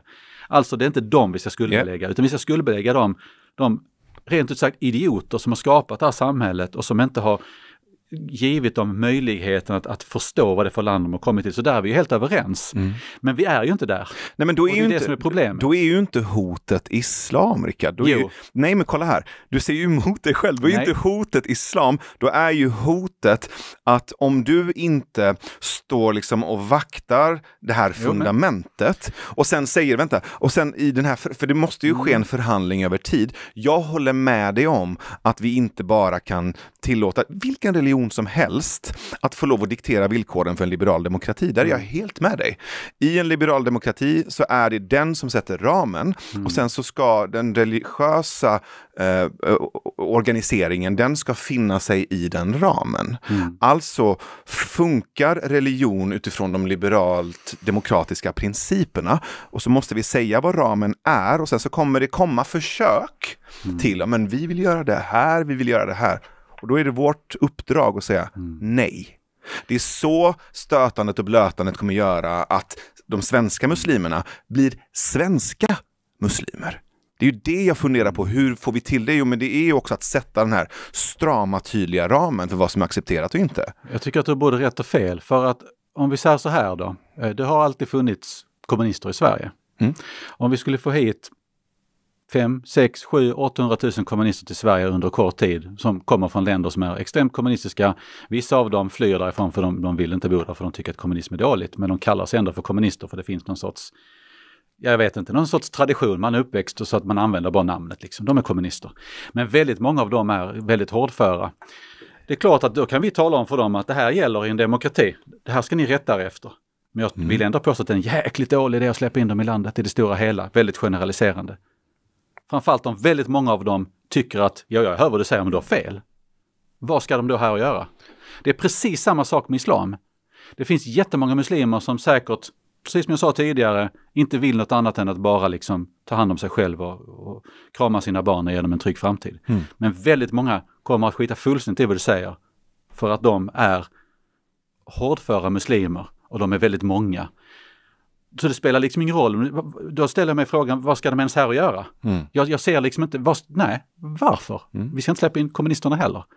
Och, alltså, och med det sagt, så det är klart att du måste kunna flytta hit även om du har den sortens värderingar eller den sortens religion. Men det ska ju vara på en normal, vettig nivå som vi kan hantera. Mm. Um, jag säger inte att alla muslimer är som kommunister eller ens tvärtom. Jag bara säger att problemen är de, ungefär de samma. Jag fattar vad du menar. Jag tycker det är en liksom... rimlig jämförelse, men det är också så här, um, att stå upp för den svenska kulturen och spelreglerna i Sverige.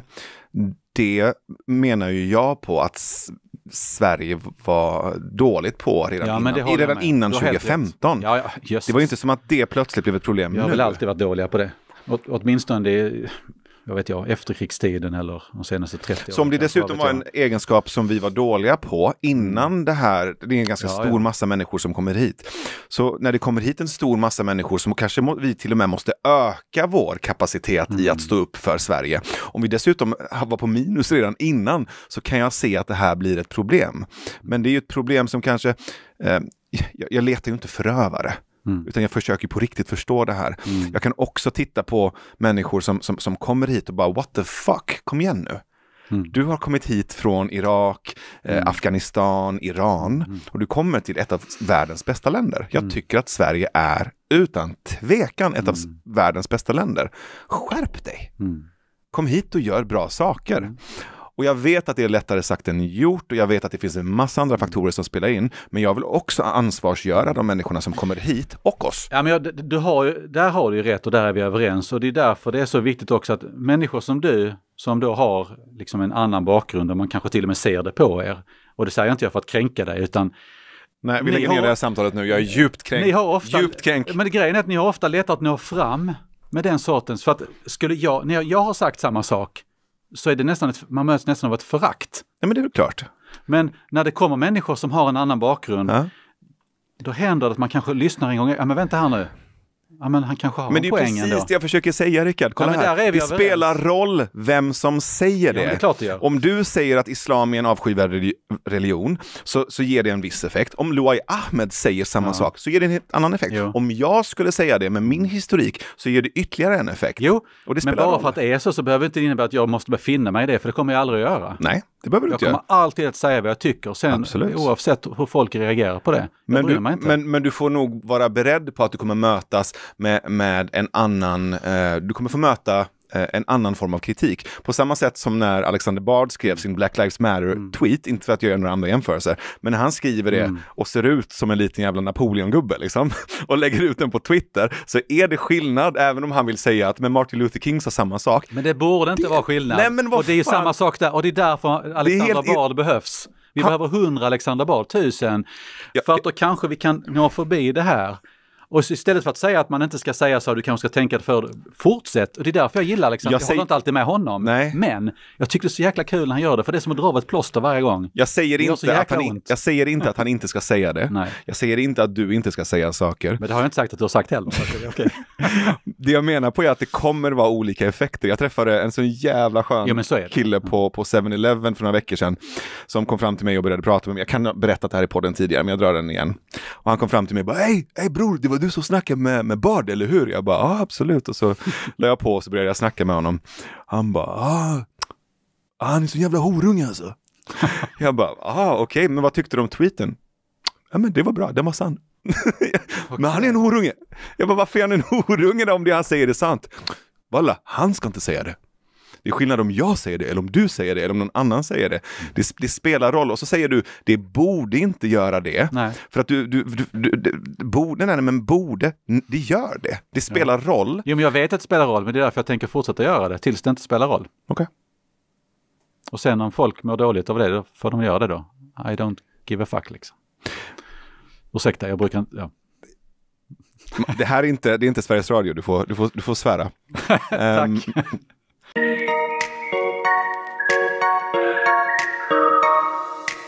tillbaka då till, till det här med just islam.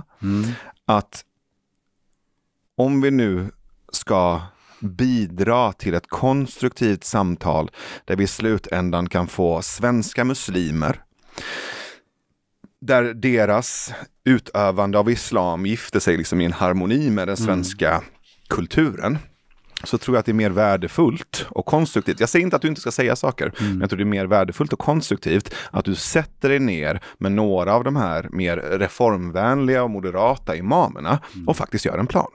För nu är det så här det ser ut. Problemet är att jag börjar snart tro att de inte är så jäkla många, de där moderata och reformvänliga. För att det är sällan de hörs. Det är väldigt, väldigt sällan de Ja, hörs. men för att de skriker inte, du får ju leta upp då. Jo, men de ska inte behöva letas upp, utan de får gå ut och vara tydligare i så fall. Men behöva, jag Mycket, menar, mycket tydligare. jag menar mer om det nu är liksom, Jag ska inte behöva leta upp dem. De får väl säga ifrån och så vet vi vilka de är. Precis som samma sätt som att jag säger ifrån. Det är väl bara att ryta ifrån. Riktigt ordentligt. Mm. Då kanske de också hörs och syns. För att de är oftast väldigt tysta. Jag vet att de finns. Jag har stött på ett par sådana också. Ehm, och, men det, det är inte så jätteofta. Ehm, tyvärr är det oftast alla de andra som syns och hörs. Och problemet är också att det finns en sån otrolig naivitet i det här också när man till exempel bygger moskéer i Sverige och att man låter det finansieras av, vad vet jag, länder som Saudiarabien till exempel. Det är ju helt galet. Det är helt jäkla galet att man låter skurkstater finansiera moskéer i Sverige där man då lär ut saker som, som förgiftar och förpestar människors sinnen liksom, i Sverige och vi låter det ske. Det är helt galet. Vi borde bara säga nej, riv skiten. Och liksom börja ställa motkrav. Alltså det är helt galet. Alltså vi ska inte tillåta det. Och, men vi är så otroligt naiva. Och det är där, kanske därför också den sortens människor som, som inte är de här reformvänliga alltid hörs för att de finansieras från utlandet som har intressen, helt andra intressen i det här. Um, och det är, också, det är också en skrämmande förändring. Jag kan tänka mig att många muslimer inte är... Det är lite som i forna Jugoslavien där det bodde ganska många muslimer. När jag läste om det i varje fall och insåg att väldigt många av dem var ju inte... De var inte muslimer, eller de var ju muslimer kanske traditionsenligt men de var inte speciellt troende. Och så fick du kriget i det forna Jugoslavien. och det pumpas in pengar och det kommer folk utifrån som ska kriga och som försöker radikalisera dem och lyckas till viss del. Så att nog, nog eh, inser jag också att det, det finns det finns ju en möjlighet att gå i en annan riktning. Mm. Men de, vi måste bli av med de här skurkstaterna och det är ju inte några få stater. De, de, finns ju överallt i hela den muslimska världen. Och vi måste stoppa inflödet av pengar, inflödet av idéer. När det kommer hit antisemitiska talare till exempel. Vi ska bara liksom skicka ut dem med spark i baken. Då kanske det finns en möjlighet att gå i en annan riktning. Men vi låter ju bara det ske. Och det är också skrämmande. Så att det här det är så olika, det är så många processer som pågår på en och samma gång. Mm. Och där är också svårt att nå fram att få andra partiers företrädare att, att förstå det här. Man verkar inte riktigt förstå problemet. Man, man lierar sig lite själv med dem själv. Liksom. Alltså Muslimska brödraskapet i Sverige till exempel. Som är en, i grund och botten en, en islam och fascistisk organisation. Och man låter dem få utrymme. Man ser inte problemet för att man är, kanske för att man är för feg eller att man är okunnig eller naiv, jag vet inte. Eller så är det en kombination av allt. Liksom. Mm. Så att jag tycker också att vi, det är klart att vi behöver människorna finns ju i Sverige var vi än tycker om det. Och då behövs ju de här krafterna naturligtvis som vill någonting annat. Men då får de banne mig börja säga ifrån alltså på, på allvar. För det, jag hävdar fortfarande att de är alldeles för tysta. Mm. Och de är för få. Vi behöver många fler. Ryt ifrån, säg ifrån, ifrågasätt. Men jag då som artist vill ju också samtidigt säga att jag kommer fortsätta kritisera islam så länge till exempel man säger att Muhammed är ett föredöme, för det är han inte. Det är en vidrig människa, jag står för det. Och så länge man inte gör det har vi ett problem. Och då tänker jag fortsätta kritisera det. Var, oavsett om du är reformvänlig eller inte. För du måste kunna ha den diskussionen också. Mm. Uh, och sen har jag också, det är också intressant för jag har pratat med en del muslimer som inte ens, de, de vet, de kan ju ingenting om Muhammed. Jag vet, jag hade någon diskussion för några år sedan i Karlskrona på torget, eh, fast det var inte 2010. Med, eh, hur gamla var de? ja, då, slutet av tonåren kanske, det spelar ingen roll. Men då, jag, när jag berättade det jag vet om Muhammed så sa de, men det är ju inte sant, så gjorde han inte alls. Jo men, jo. Alltså jag har ju läst de här böckerna, det är historiker som har skrivit dem. Nej men det är inte sant. Så att många verkar ju inte ens veta själva. Så att, ehm, och det kanske inte är ett problem egentligen, men, men om de inte vet varför jag kritiserar det, då är klart, då, är, då har vi ett problem. För då är vi inte ens på samma plan liksom. De säger att ja, du kränker vår profet. Liksom. Jo, men jag gör ju det på grund av det här. Liksom. Nej, men det är inte ens sant. Så gjorde han ju inte. Jo, men det är klart han gjorde det. Så att, så att många gånger när vi har de här samtalen också så är det också för att vi, vi, är ju, vi befinner oss liksom inte ens på samma planhalva. Vi förstår inte riktigt vad vi menar. Så det är klart att jag någonstans också kan...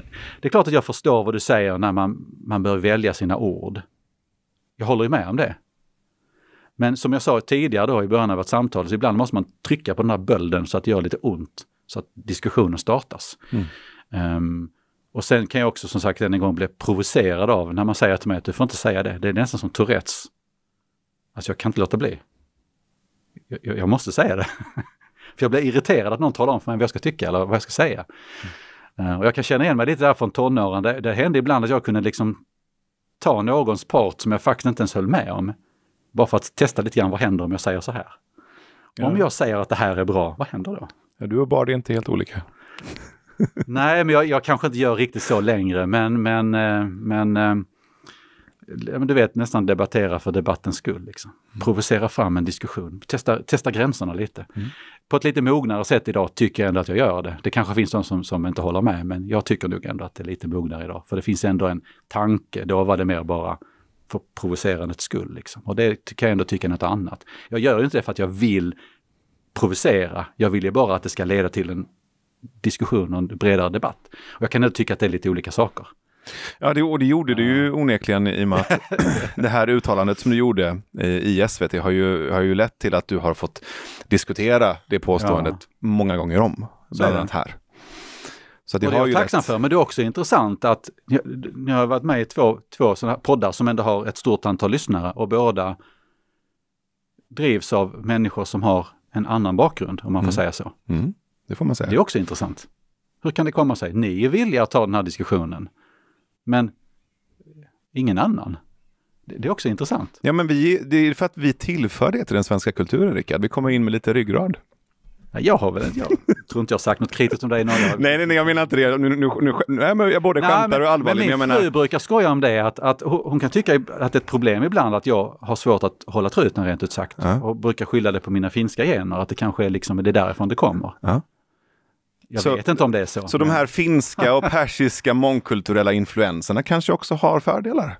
Är det så? Ja, kolla, det är anledningen till att vi sitter, det sitter en finne och en iranier här och diskuterar Sveriges framtid. Halvfinne. Okej. Fast det är intressant att ju äldre jag blir desto mer omfamnar jag det finska. Ja. Det är också intressant. För jag har inte ens, när jag väl var yngre så sket jag fullständigt det där. Jag, jag, jag har alltid, det är klart jag fortfarande känner mig som svensk, men ju äldre man blir desto viktigare blir det där liksom. Att man ändå tittar lite bakåt så.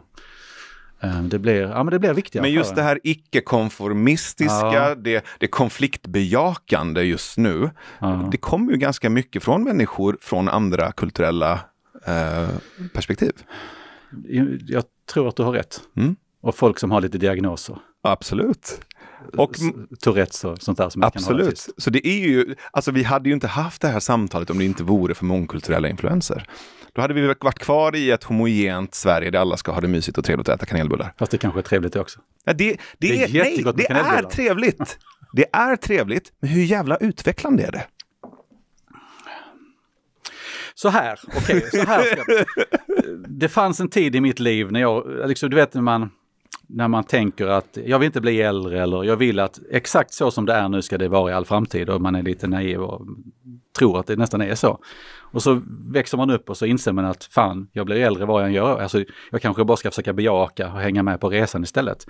Så är det ju även med det där, liksom, även Sverige förändras ju naturligtvis och det, det finns ju ingenting vi kan göra någonting åt det. Men det är ju en sak om det är det svenska folket själva som någonstans är liksom lokförarna och driver den här processen framåt. Men så är det ju inte idag. Det är ju en liten, nästan vänsterextrem 68, 68 vänster som har bestämt sig för att vi ska ha liksom mångkultur. Det är väl demokratiskt valda partier? Jo, men de, hur många svenskar har ens uppfattat det? Jag har pratat med så många socialdemokrater som först i efterhand har förstått liksom, ja men okej, man fattar de besluten där, det kanske fick följdverkningar, jag har inte ens för, liksom, men då fattar jag inte ens vad man pratade om. Nej. Alltså man, man sitter på någon sorts hög häst och bara bestämmer helt plötsligt att vi ska ha ett mångkulturellt Sverige. Men du kan inte förstå det förrän du har genomgått det. Det är för abstrakt. Hur fan skulle du ha förstått Ja, det här? Varför, ska vi då genomgå det? Det, det, det, det är liksom per definition fel. Utan förändringsprocessen ska ju, ska ju bedrivas av folket själva, inte av en liten politisk elit som bestämmer sig för att nu gör vi så här.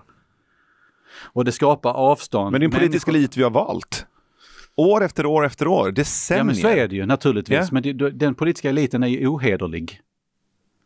Jag, har, jag vet inte hur många gånger jag har mött, alltså man möter alltså politiker i andra partier som så gär, gärna pratar om att man ska vara inkluderande, alla människors lika värde. Men som själva har ett ganska djupt förakt för den vanliga svenska människan. Alltså den vanliga gräsroten. Mm. Vi vet bättre. Mm. De ska bara liksom finna sig i vad vi gör. Lite överdrivet men ofta landar man, men fan kan du tycka så liksom? Mm. Och det är ju, och människor förstår oftast inte det här. För att, och det är det som är ett problem, det är därför man måste ta sitt engagemang på sånt otroligt jäkla stort allvar. För att de flesta människorna, de, de har fullt upp med att man går till jobbet, man tjänar pengar, det man nu tjänar, de pengarna går till att hålla familjen flytande. Man orkar inte tänka på det utanför. Därför är det ett sånt otroligt stort ansvar att vara politiker, att vara engagerad politiskt och fatta att man har fan ett ansvar att försöka dra med människorna och lyssna in dem. Och det är inte populistiskt. Eller om det, och är det det så då är populism bra liksom. Alltså vi, vi måste ju dra med människorna, tvinga med dem att fatta liksom vad det innebär att vara en del i en demokrati. Men Och populism, inte bety- sitta på den där höga hästen liksom. populism betyder ju inte populär, det betyder ju också förenklat. Jo, jo. Och det här är ju inte, du kan ju inte ge Nej, förenklade men man brukar ju svar. anklaga oss för att vi är populister, det är det som är min poäng, för att vi vill inkludera människor, att vi kanske vill ha fler folkomröstningar eller att vi, vi vill tvinga människor att förstå, ja, men kom igen nu, Sätt, sätta in i den här politiska frågan, du måste liksom, det är ditt ansvar som medborgare. Men jag tror inte populism, eller den pop Nej men man anklagar oss för att jag, jag förstår det, men, på grund av det. Men den kritiken tror jag snarare handlar om när ni gör förenklade uppställningar. Inte att ni lyssnar på folket. Jag menar, att Sverigedemokraterna har, har lyssnat på, på, på missnöjda svenskar har ju gjort det till Sveriges tredje största parti. Mm. Okay. Men, men populism innebär ju att du ger förenklade svar på väldigt komplexa frågor. Jag vill nu påstå att alla partier i så fall ger väldigt förenklade svar. Och det är lite det som också är polit politikens dilemma. Att, att ibland, det är samma sak som jag ska, när jag föreläser om ideologi. Jag försöker hela tiden tänka, hur i helsike ska jag baka ner det här och förklara det för människor som för det första kanske inte ens vet vad ideologi är för någonting. Som kanske inte ens minns att man läste om det här i skolan. Och då blir det ju förenklat. Och samma sak är det ibland med politiska budskap. Att det, och det är ju, jag förstår precis vad du menar, vad du säger, för det är, det är en jäkla balansgång det här. Men jag vill nog ändå påstå ibland att det är inte alltid så jäkla förenklat det vi säger, men vi kanske är extremt tydliga. Det är klart att det alltid finns fler bottnar i alla frågor. Mm. Självklart. Mm. Men för att väcka intresse ibland så, så, så, kanske man måste vara lite spetsig för att sen få den här bredare diskussionen. Så länge du får den bredare diskussionen. Ja. Men att säga att någonting är bra eller dåligt är i sig populistiskt. Det är förenklat. Jo, kan jo, men alla ingång... partier befinner sig på samma plan i så fall. Jo, men nu är du här. Ja. Alla, de jo, andra jag, jag vet att jag är här. De andra partierna är inte här för att försvara sig, men jag menar att när, när du säger att eh, någonting är bra eller dåligt, mm. då blir det en populistisk förenkling. Du kan ge en eh, tillgänglig ingång till att ha ett samtal om islam mm. som inte är förenklad. Och då menar jag att den inte är binär. Islam är bra, islam är dåligt. Utan att okej, okay, eh, här finns här finns saker att göra, här finns en, en potentiell utveckling. Vi behöver prata om hur vi eh, jobbar med mm. liksom, reformismen, eh, liksom hur vi reformerar islam att funka i en liberal demokrati. Vi måste titta på problemen, men vi måste också lyfta och se liksom, mm. vad som är värdefullt i en ideologi eller i en religion. Det för mig är ganska enkelt att säga, men det är inte förenklat. Förstår du skillnaden? Ja, men jag tycker inte att det är speciellt förenklat, för att jag kan lätt förklara vad jag menar. Och det är till exempel att, vad är islam? Ja, det bygger framförallt på två saker, Koranen och Muhammed. Det är primärt det är liksom någonstans grunden i islam. Och jag har läst Koranen, jag vet om att det finns suror som, den är nästan schizofren. Det finns saker som jag faktiskt, ja men det här är schysst ju. Mm. Och så finns det saker som jag tycker att det här är jättedåligt. Mm. Och sen har man det här att jo men det är de senare surorna som ska gälla mm. någonstans. Och sen har vi då Muhammed som jag tycker är en, en, i grund och botten en väldigt problematisk människa. Så att när jag pratar islam, då är det det jag pratar om. Mm. Men det är klart jag fattar att det finns någonting annat också. Men det är där jag tycker man då ska börja. Så min utmaning då till, till de som tycker att jag har fel, ja men börja där då. Reformera Koranen, ja stryk de surorna där man säger att man ska döda de som inte håller med och säga att Muhammed var en ganska dålig människa. Han gjorde ju rätt så många bra saker fram till, vad var det, 40-årsåldern och sen så gick han in i grottan. Så han gjorde både dåliga och bra saker? Jo, men det finns det, både dåliga och bra saker i islam? Första delen av hans, hans liv ja. i Mecka var väl, ja, yeah. det var väl okej okay, liksom. Yeah. Och sen Medina och han var i grottan och allt det här och sen så började det hända väldigt dåliga saker. Men jag menar om du men, kan göra en sån nyanserad tolkning av det, mm så kan ju andra människor göra det också. Jag menar, det pågår ju ständiga interna diskussioner i det muslimska communityt, mm. vilket i sig är en väldigt svepande bild. 1,8 miljarder människor. Det är klart att de här samtalen pågår också. Så är det. Och, och hur, ska, hur ska jag förklara? Jo, men det, jag vill ändå påstå att ingenting är svart eller vitt. Och jag, alltså det gäller ju även väldigt onda människor. Ofta så, jag, jag vill, det, det är mer, det är en vågskål. Och så, så lägger man det bra i den ena vågskålen och det dåliga i den andra och sen så vrp, tippar det över åt något håll. Så.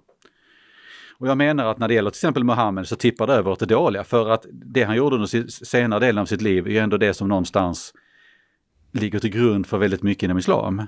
Och där, där, där väldigt onda människor idag när de söker liksom någon sorts eh, stöd i sina handlingar så kan de ju bara titta, ja men han är ju vår liksom eh, profet, allt han gjorde var bra och där när han halshögg de 600 judiska pojkarna och männen, ja men det kan göra samma sak. Alltså, men det är ju det är inte, det, det, det är vissa muslimer som gör den bokstavliga tolkningen. Ja men det spelar ingen roll om jag gör det eller inte, jag tycker fortfarande att det är en dålig människa. Alltså det, det dåliga väger över och det spelar ingen roll. Alltså jag, jag vill nästan påstå att, att när jag pratar Muhammed så har det kanske inte så mycket med muslimerna att göra, det har med Muhammed som människa att göra. Och då vill jag att fler säger att han är inget föredöme. Jag blir provocerad av det. Han var en ganska dålig människa. Det är inte okej att utföra lönnmord på politiska fiender, det är jättedåligt. Eller att massavrätta 6, 7, 800 liksom, fångar. Man gör inte det. Alltså det är kass. Och det måste ni kunna säga att det är dåligt, alltså de som, som tycker att han är ett föredöme. Så att när jag pratar om det så det, det är klart att det har med islam att göra men, men i grund och botten handlar det mer om att göra upp med den här människan. Gör det bara. Och sen så vet jag att i vågskålen, det finns ju berättelser, jag har läst ganska mycket om Muhammed, framförallt på 90-talet, som, som berättar andra saker om honom, att han var väldigt karismatisk och man beskriver hur han såg ut och han, han förförde änkor eller som, som skänkte pengar och ja, det gjorde för övrigt förmodligen även Jesus, visar senare forskning att han också förmodligen var ganska karismatisk och fick med sig änkor som skänkte pengar. Det håller på att träda fram en helt annan bild av Jesus idag. Han kanske inte var den där snick, snickar, så, utan han kanske istället var en ganska framstående människa. Eh, som, som jobbade på sitt sätt men också med stöd av, av eh, kunde förföra änkor och vara karismatisk. Så att jag fattar att det finns ju liksom två sidor av ett mynt, det fattar mm. jag med. Men det är fortfarande så att han gjorde väldigt många dåliga saker. Erkänn det då, för fan rent ut sagt. Mm. Annars har ni ett problem. Och stryk de surorna som, som är dåliga. Säg bara att de är kass, vi stryker dem. Det är ungefär som att när jag läser Bibeln, gamla, alltså guden som finns i Gamla Testamentet är extremt problematisk. Mm. Alltså, jag blev provocerad av liksom hur Gud betedde sig. Mm. Ja men typ, människan är dålig. Jag översvämmar hela jorden. Det är inte så många som tror att, men det står ju ändå att han gjorde det. Jag räddar de här liksom, två av allting. Allt annat liv bara utrotar jag. Jag menar allvarligt talat. Mm. Det, det, är en ond Gud. Mm. Det är klart. Och det är därför jag är så glad att det finns ett Nya Testamente, liksom att Jesus kom och gjorde upp med en del av de här traditionerna och pratade om ett annat budskap. Och det kan jag tycka någonstans är kristendomens räddning. Utan Nya Testamentet, alltså allvarligt talat, alltså arvsynden, jag blev provocerad av arvsynden. Att den här, det här lilla barnet som, som föds är i grund, det, det, är en, det är en ond varelse. Vi kan bara rädda den här ungen genom att döpa den. Vad är det för trams? Mm. Jag blir provocerad av det. Eller att man liksom säger att, ja men någonstans att vi människor ska ha rätten att vad vet jag, bilda oss en uppfattning och ha en egen tro och allt det där. Men, men det står ju ändå i ett av tio Guds bud liksom att man får inte ha någon annan gud. Men allvar, det är lite som när en diktator säger att du får rösta på vem du vill. Men röstar du fel, jepp, då dör du. Mm. För det är lite det som händer, du kommer brinna i helvetet, typ så, om du har någon annan gud det provocerar mig oerhört ja. mycket. Så att det finns ju jättemycket där man kan problematisera också. Ja, men som om kristna idag kan läsa en uråldrig text och eh, som läsa den mm. symboliskt mm. och sen genom sina handlingar välja vilken typ av kristna de vill vara, så tog ju även muslimer kunna göra det. Ja, det hoppas jag verkligen. Men ja. då, då menar att då måste man göra upp med Muhammed och de, de delarna i, i Koranen som, och framförallt de senare surorna som är eh, enligt mig väldigt problematiskt. Ja, och jag, och jag menar på att det pågår internt. Det går inte över en natt, men det är klart som fan att det pågår Nej, det, internt. Och det är det som är problemet här också. För att kristendomens, alltså förändring har ju tagit, det, det, det är länge sedan vi hade reformationen och det är länge sedan vi hade upplysningen. En ganska smärtsam process mm. där vi krigade inbördes i Europa, protestanter mot katoliker, du vet, massa hemskheter. Mm. Och när vi då befinner oss på det här planet och så kommer det då hit alla de här människorna som, där många av dem befinner sig på ett helt annat plan och tillhör en religion som, som inte har gjort den här resan. Där har du problemet och jag har full respekt för, och det, det måste vi såklart respektera. Och det är det som är också ett problem där väst ofta gör fel. När vi, vi tar vårt samhälle där vi befinner oss idag och så tittar vi på Ryssland eller länder i Mellanöstern och så säger vi att nu ska vi kriga lite här. Och sen så ska de hux flux göra det här hoppet några hundra år framåt och sen ska de befinna sig på samma nivå där vi är idag. Det är så naivt så att jag har inte ens ord för det. Vi ska göra vad vi kan, om du förstår vad jag menar, att, att hjälpa människorna. Det kan också, det, det kan låta nästan imperialistiskt, jag menar inte så, men de liberala krafter som finns då kanske vi ska försöka stödja så att de kan underifrån genomföra den här förändringsprocessen. Mm. För att när väst kommer utifrån och vill göra det, då blir det uppenbarligen fel. Mm. Och då måste vi också acceptera att vi befinner oss lite grann på olika planeter, om jag får överdriva lite, och respektera att det är så. Men samtidigt så är det ju hemskt på ett sätt att, att sitta i vår del av världen där vi kanske då, vi har liksom i Sverige där vi inte haft krig på, ja det ju haft fred i ett par hundra år och se alla de här hemskheterna. Man vill ju, det är klart man ska ingripa men det är inte så enkelt. Och vi, det, blir bara, det blir alltid fel och det är det som är, där är det stora dilemmat. Vi har en global värld, vi ser allt som händer hela tiden runt omkring oss. Men vi befinner oss på olika, olika platser i historien. Och det är ju liksom någonstans allas vårt problem. Hur fan ska vi hantera det? Mm.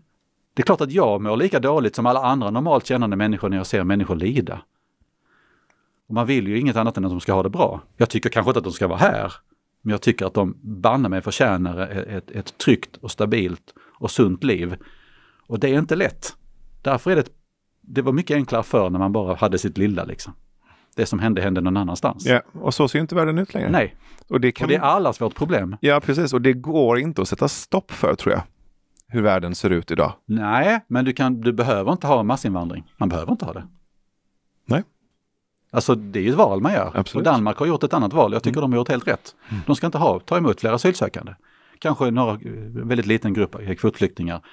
Och jag tycker det är helt rätt väg att gå. Men man kan ju inte bara fatta det beslutet och sen strunta i allting. Exakt. Och det är det som är problemet. Allt det här, du vet, alla, alla år eller årtionden man har pumpat in pengar i olika projekt runt om i världen. Syftet har varit gott, men ofta har det blivit fel. Så det är inte lätt det här alltså. Det är inte lätt. Hur gör vi för att men det, de, vi hade ju inte vetat att det var fel heller om vi inte hade provat. Nej, faktiskt. Jo, men det är sant. Vi befinner oss i processen nu och det är klart att någon gång i framtiden hoppas jag att man jag hoppas att jag har fel när jag är negativ. Att man har landat i någonting bra eller lite bättre i varje fall. Eh, men det brukar oftast funka bäst när det är människorna själva och förändringsprocessen kommer underifrån. Och där tyvärr då, än en gång, gör ju ofta väst fel, inte minst USA som pumpar in massa pengar i olika grupper och sen så tror man att lite vapen där och så krigar de och så blir allt bra och så bara går det, går det fel och sen så, ja du vet, och så får man helt fel inriktning igen liksom. Om du tittar på Al-Qaida eller du tittar på IS liksom, som mm. i mångt och mycket är finansierade av pengar från USA liksom. Så att eh, och då handlar det inte bara om Sverige, utan alltså det, är ju, alltså, det är en jättestor fråga det här. Mm. Um, så att, uh, men vi måste kanske någonstans ändå acceptera att alla kan inte befinna sig på samma plan eller planhalva på en och samma gång, även om vi vill det. Och någonstans kanske vi måste acceptera att förändringsprocesser tar lång tid. Och de måste få ta lång tid för att de ska kunna bli bra, annars så blir de kanske inte bra.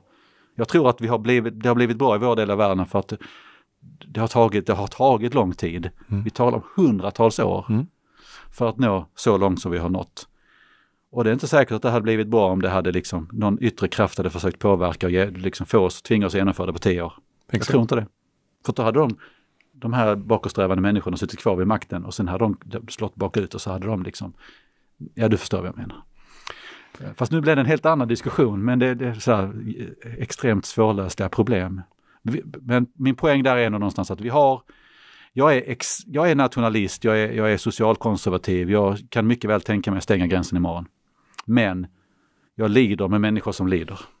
Och jag tycker att vi har ett ansvar. Och vi måste fundera på hur i helsike gör vi så att vi kan höja levnadsstandarden för de människor som har det mycket, mycket sämre än oss så att de kan liksom skapa sig sina egna trygga liv. Det är den stora utmaningen. Liksom. Mm, ja, jo, jösses. Du, eh, tack för det här samtalet. Långt ifrån eh, att vi har hittat en eh, förenklad populistisk eh, lösning på hur vi ska fixa allting, men eh, jag uppskattar att du tog dig tid och kom hit. Och ja, tack så mycket. Tog det här samtalet jag tror vi skulle kunna prata rätt mycket till faktiskt, eller rätt länge till. Absolut. Men samtalet är inte helt över. Det är över för våra vanliga tittare och lyssnare. Och sen så kommer det här samtalet att fortsätta några minuter till på patreon.com slash mm. Jag tänkte vi skulle svara på lite lyssnarfrågor om ja. du hänger kvar en liten ja, stund till. Jag, jag har, du, vi kan sitta halva kvällen så det är lugnt. Så du som lyssnar och tittar, samtalet med Rickard Jomshoff fortsätter med era lyssnarfrågor på patreon.com slash När du blir Patreon så får du också avsnitten reklamfria och lite tidigare än alla andra.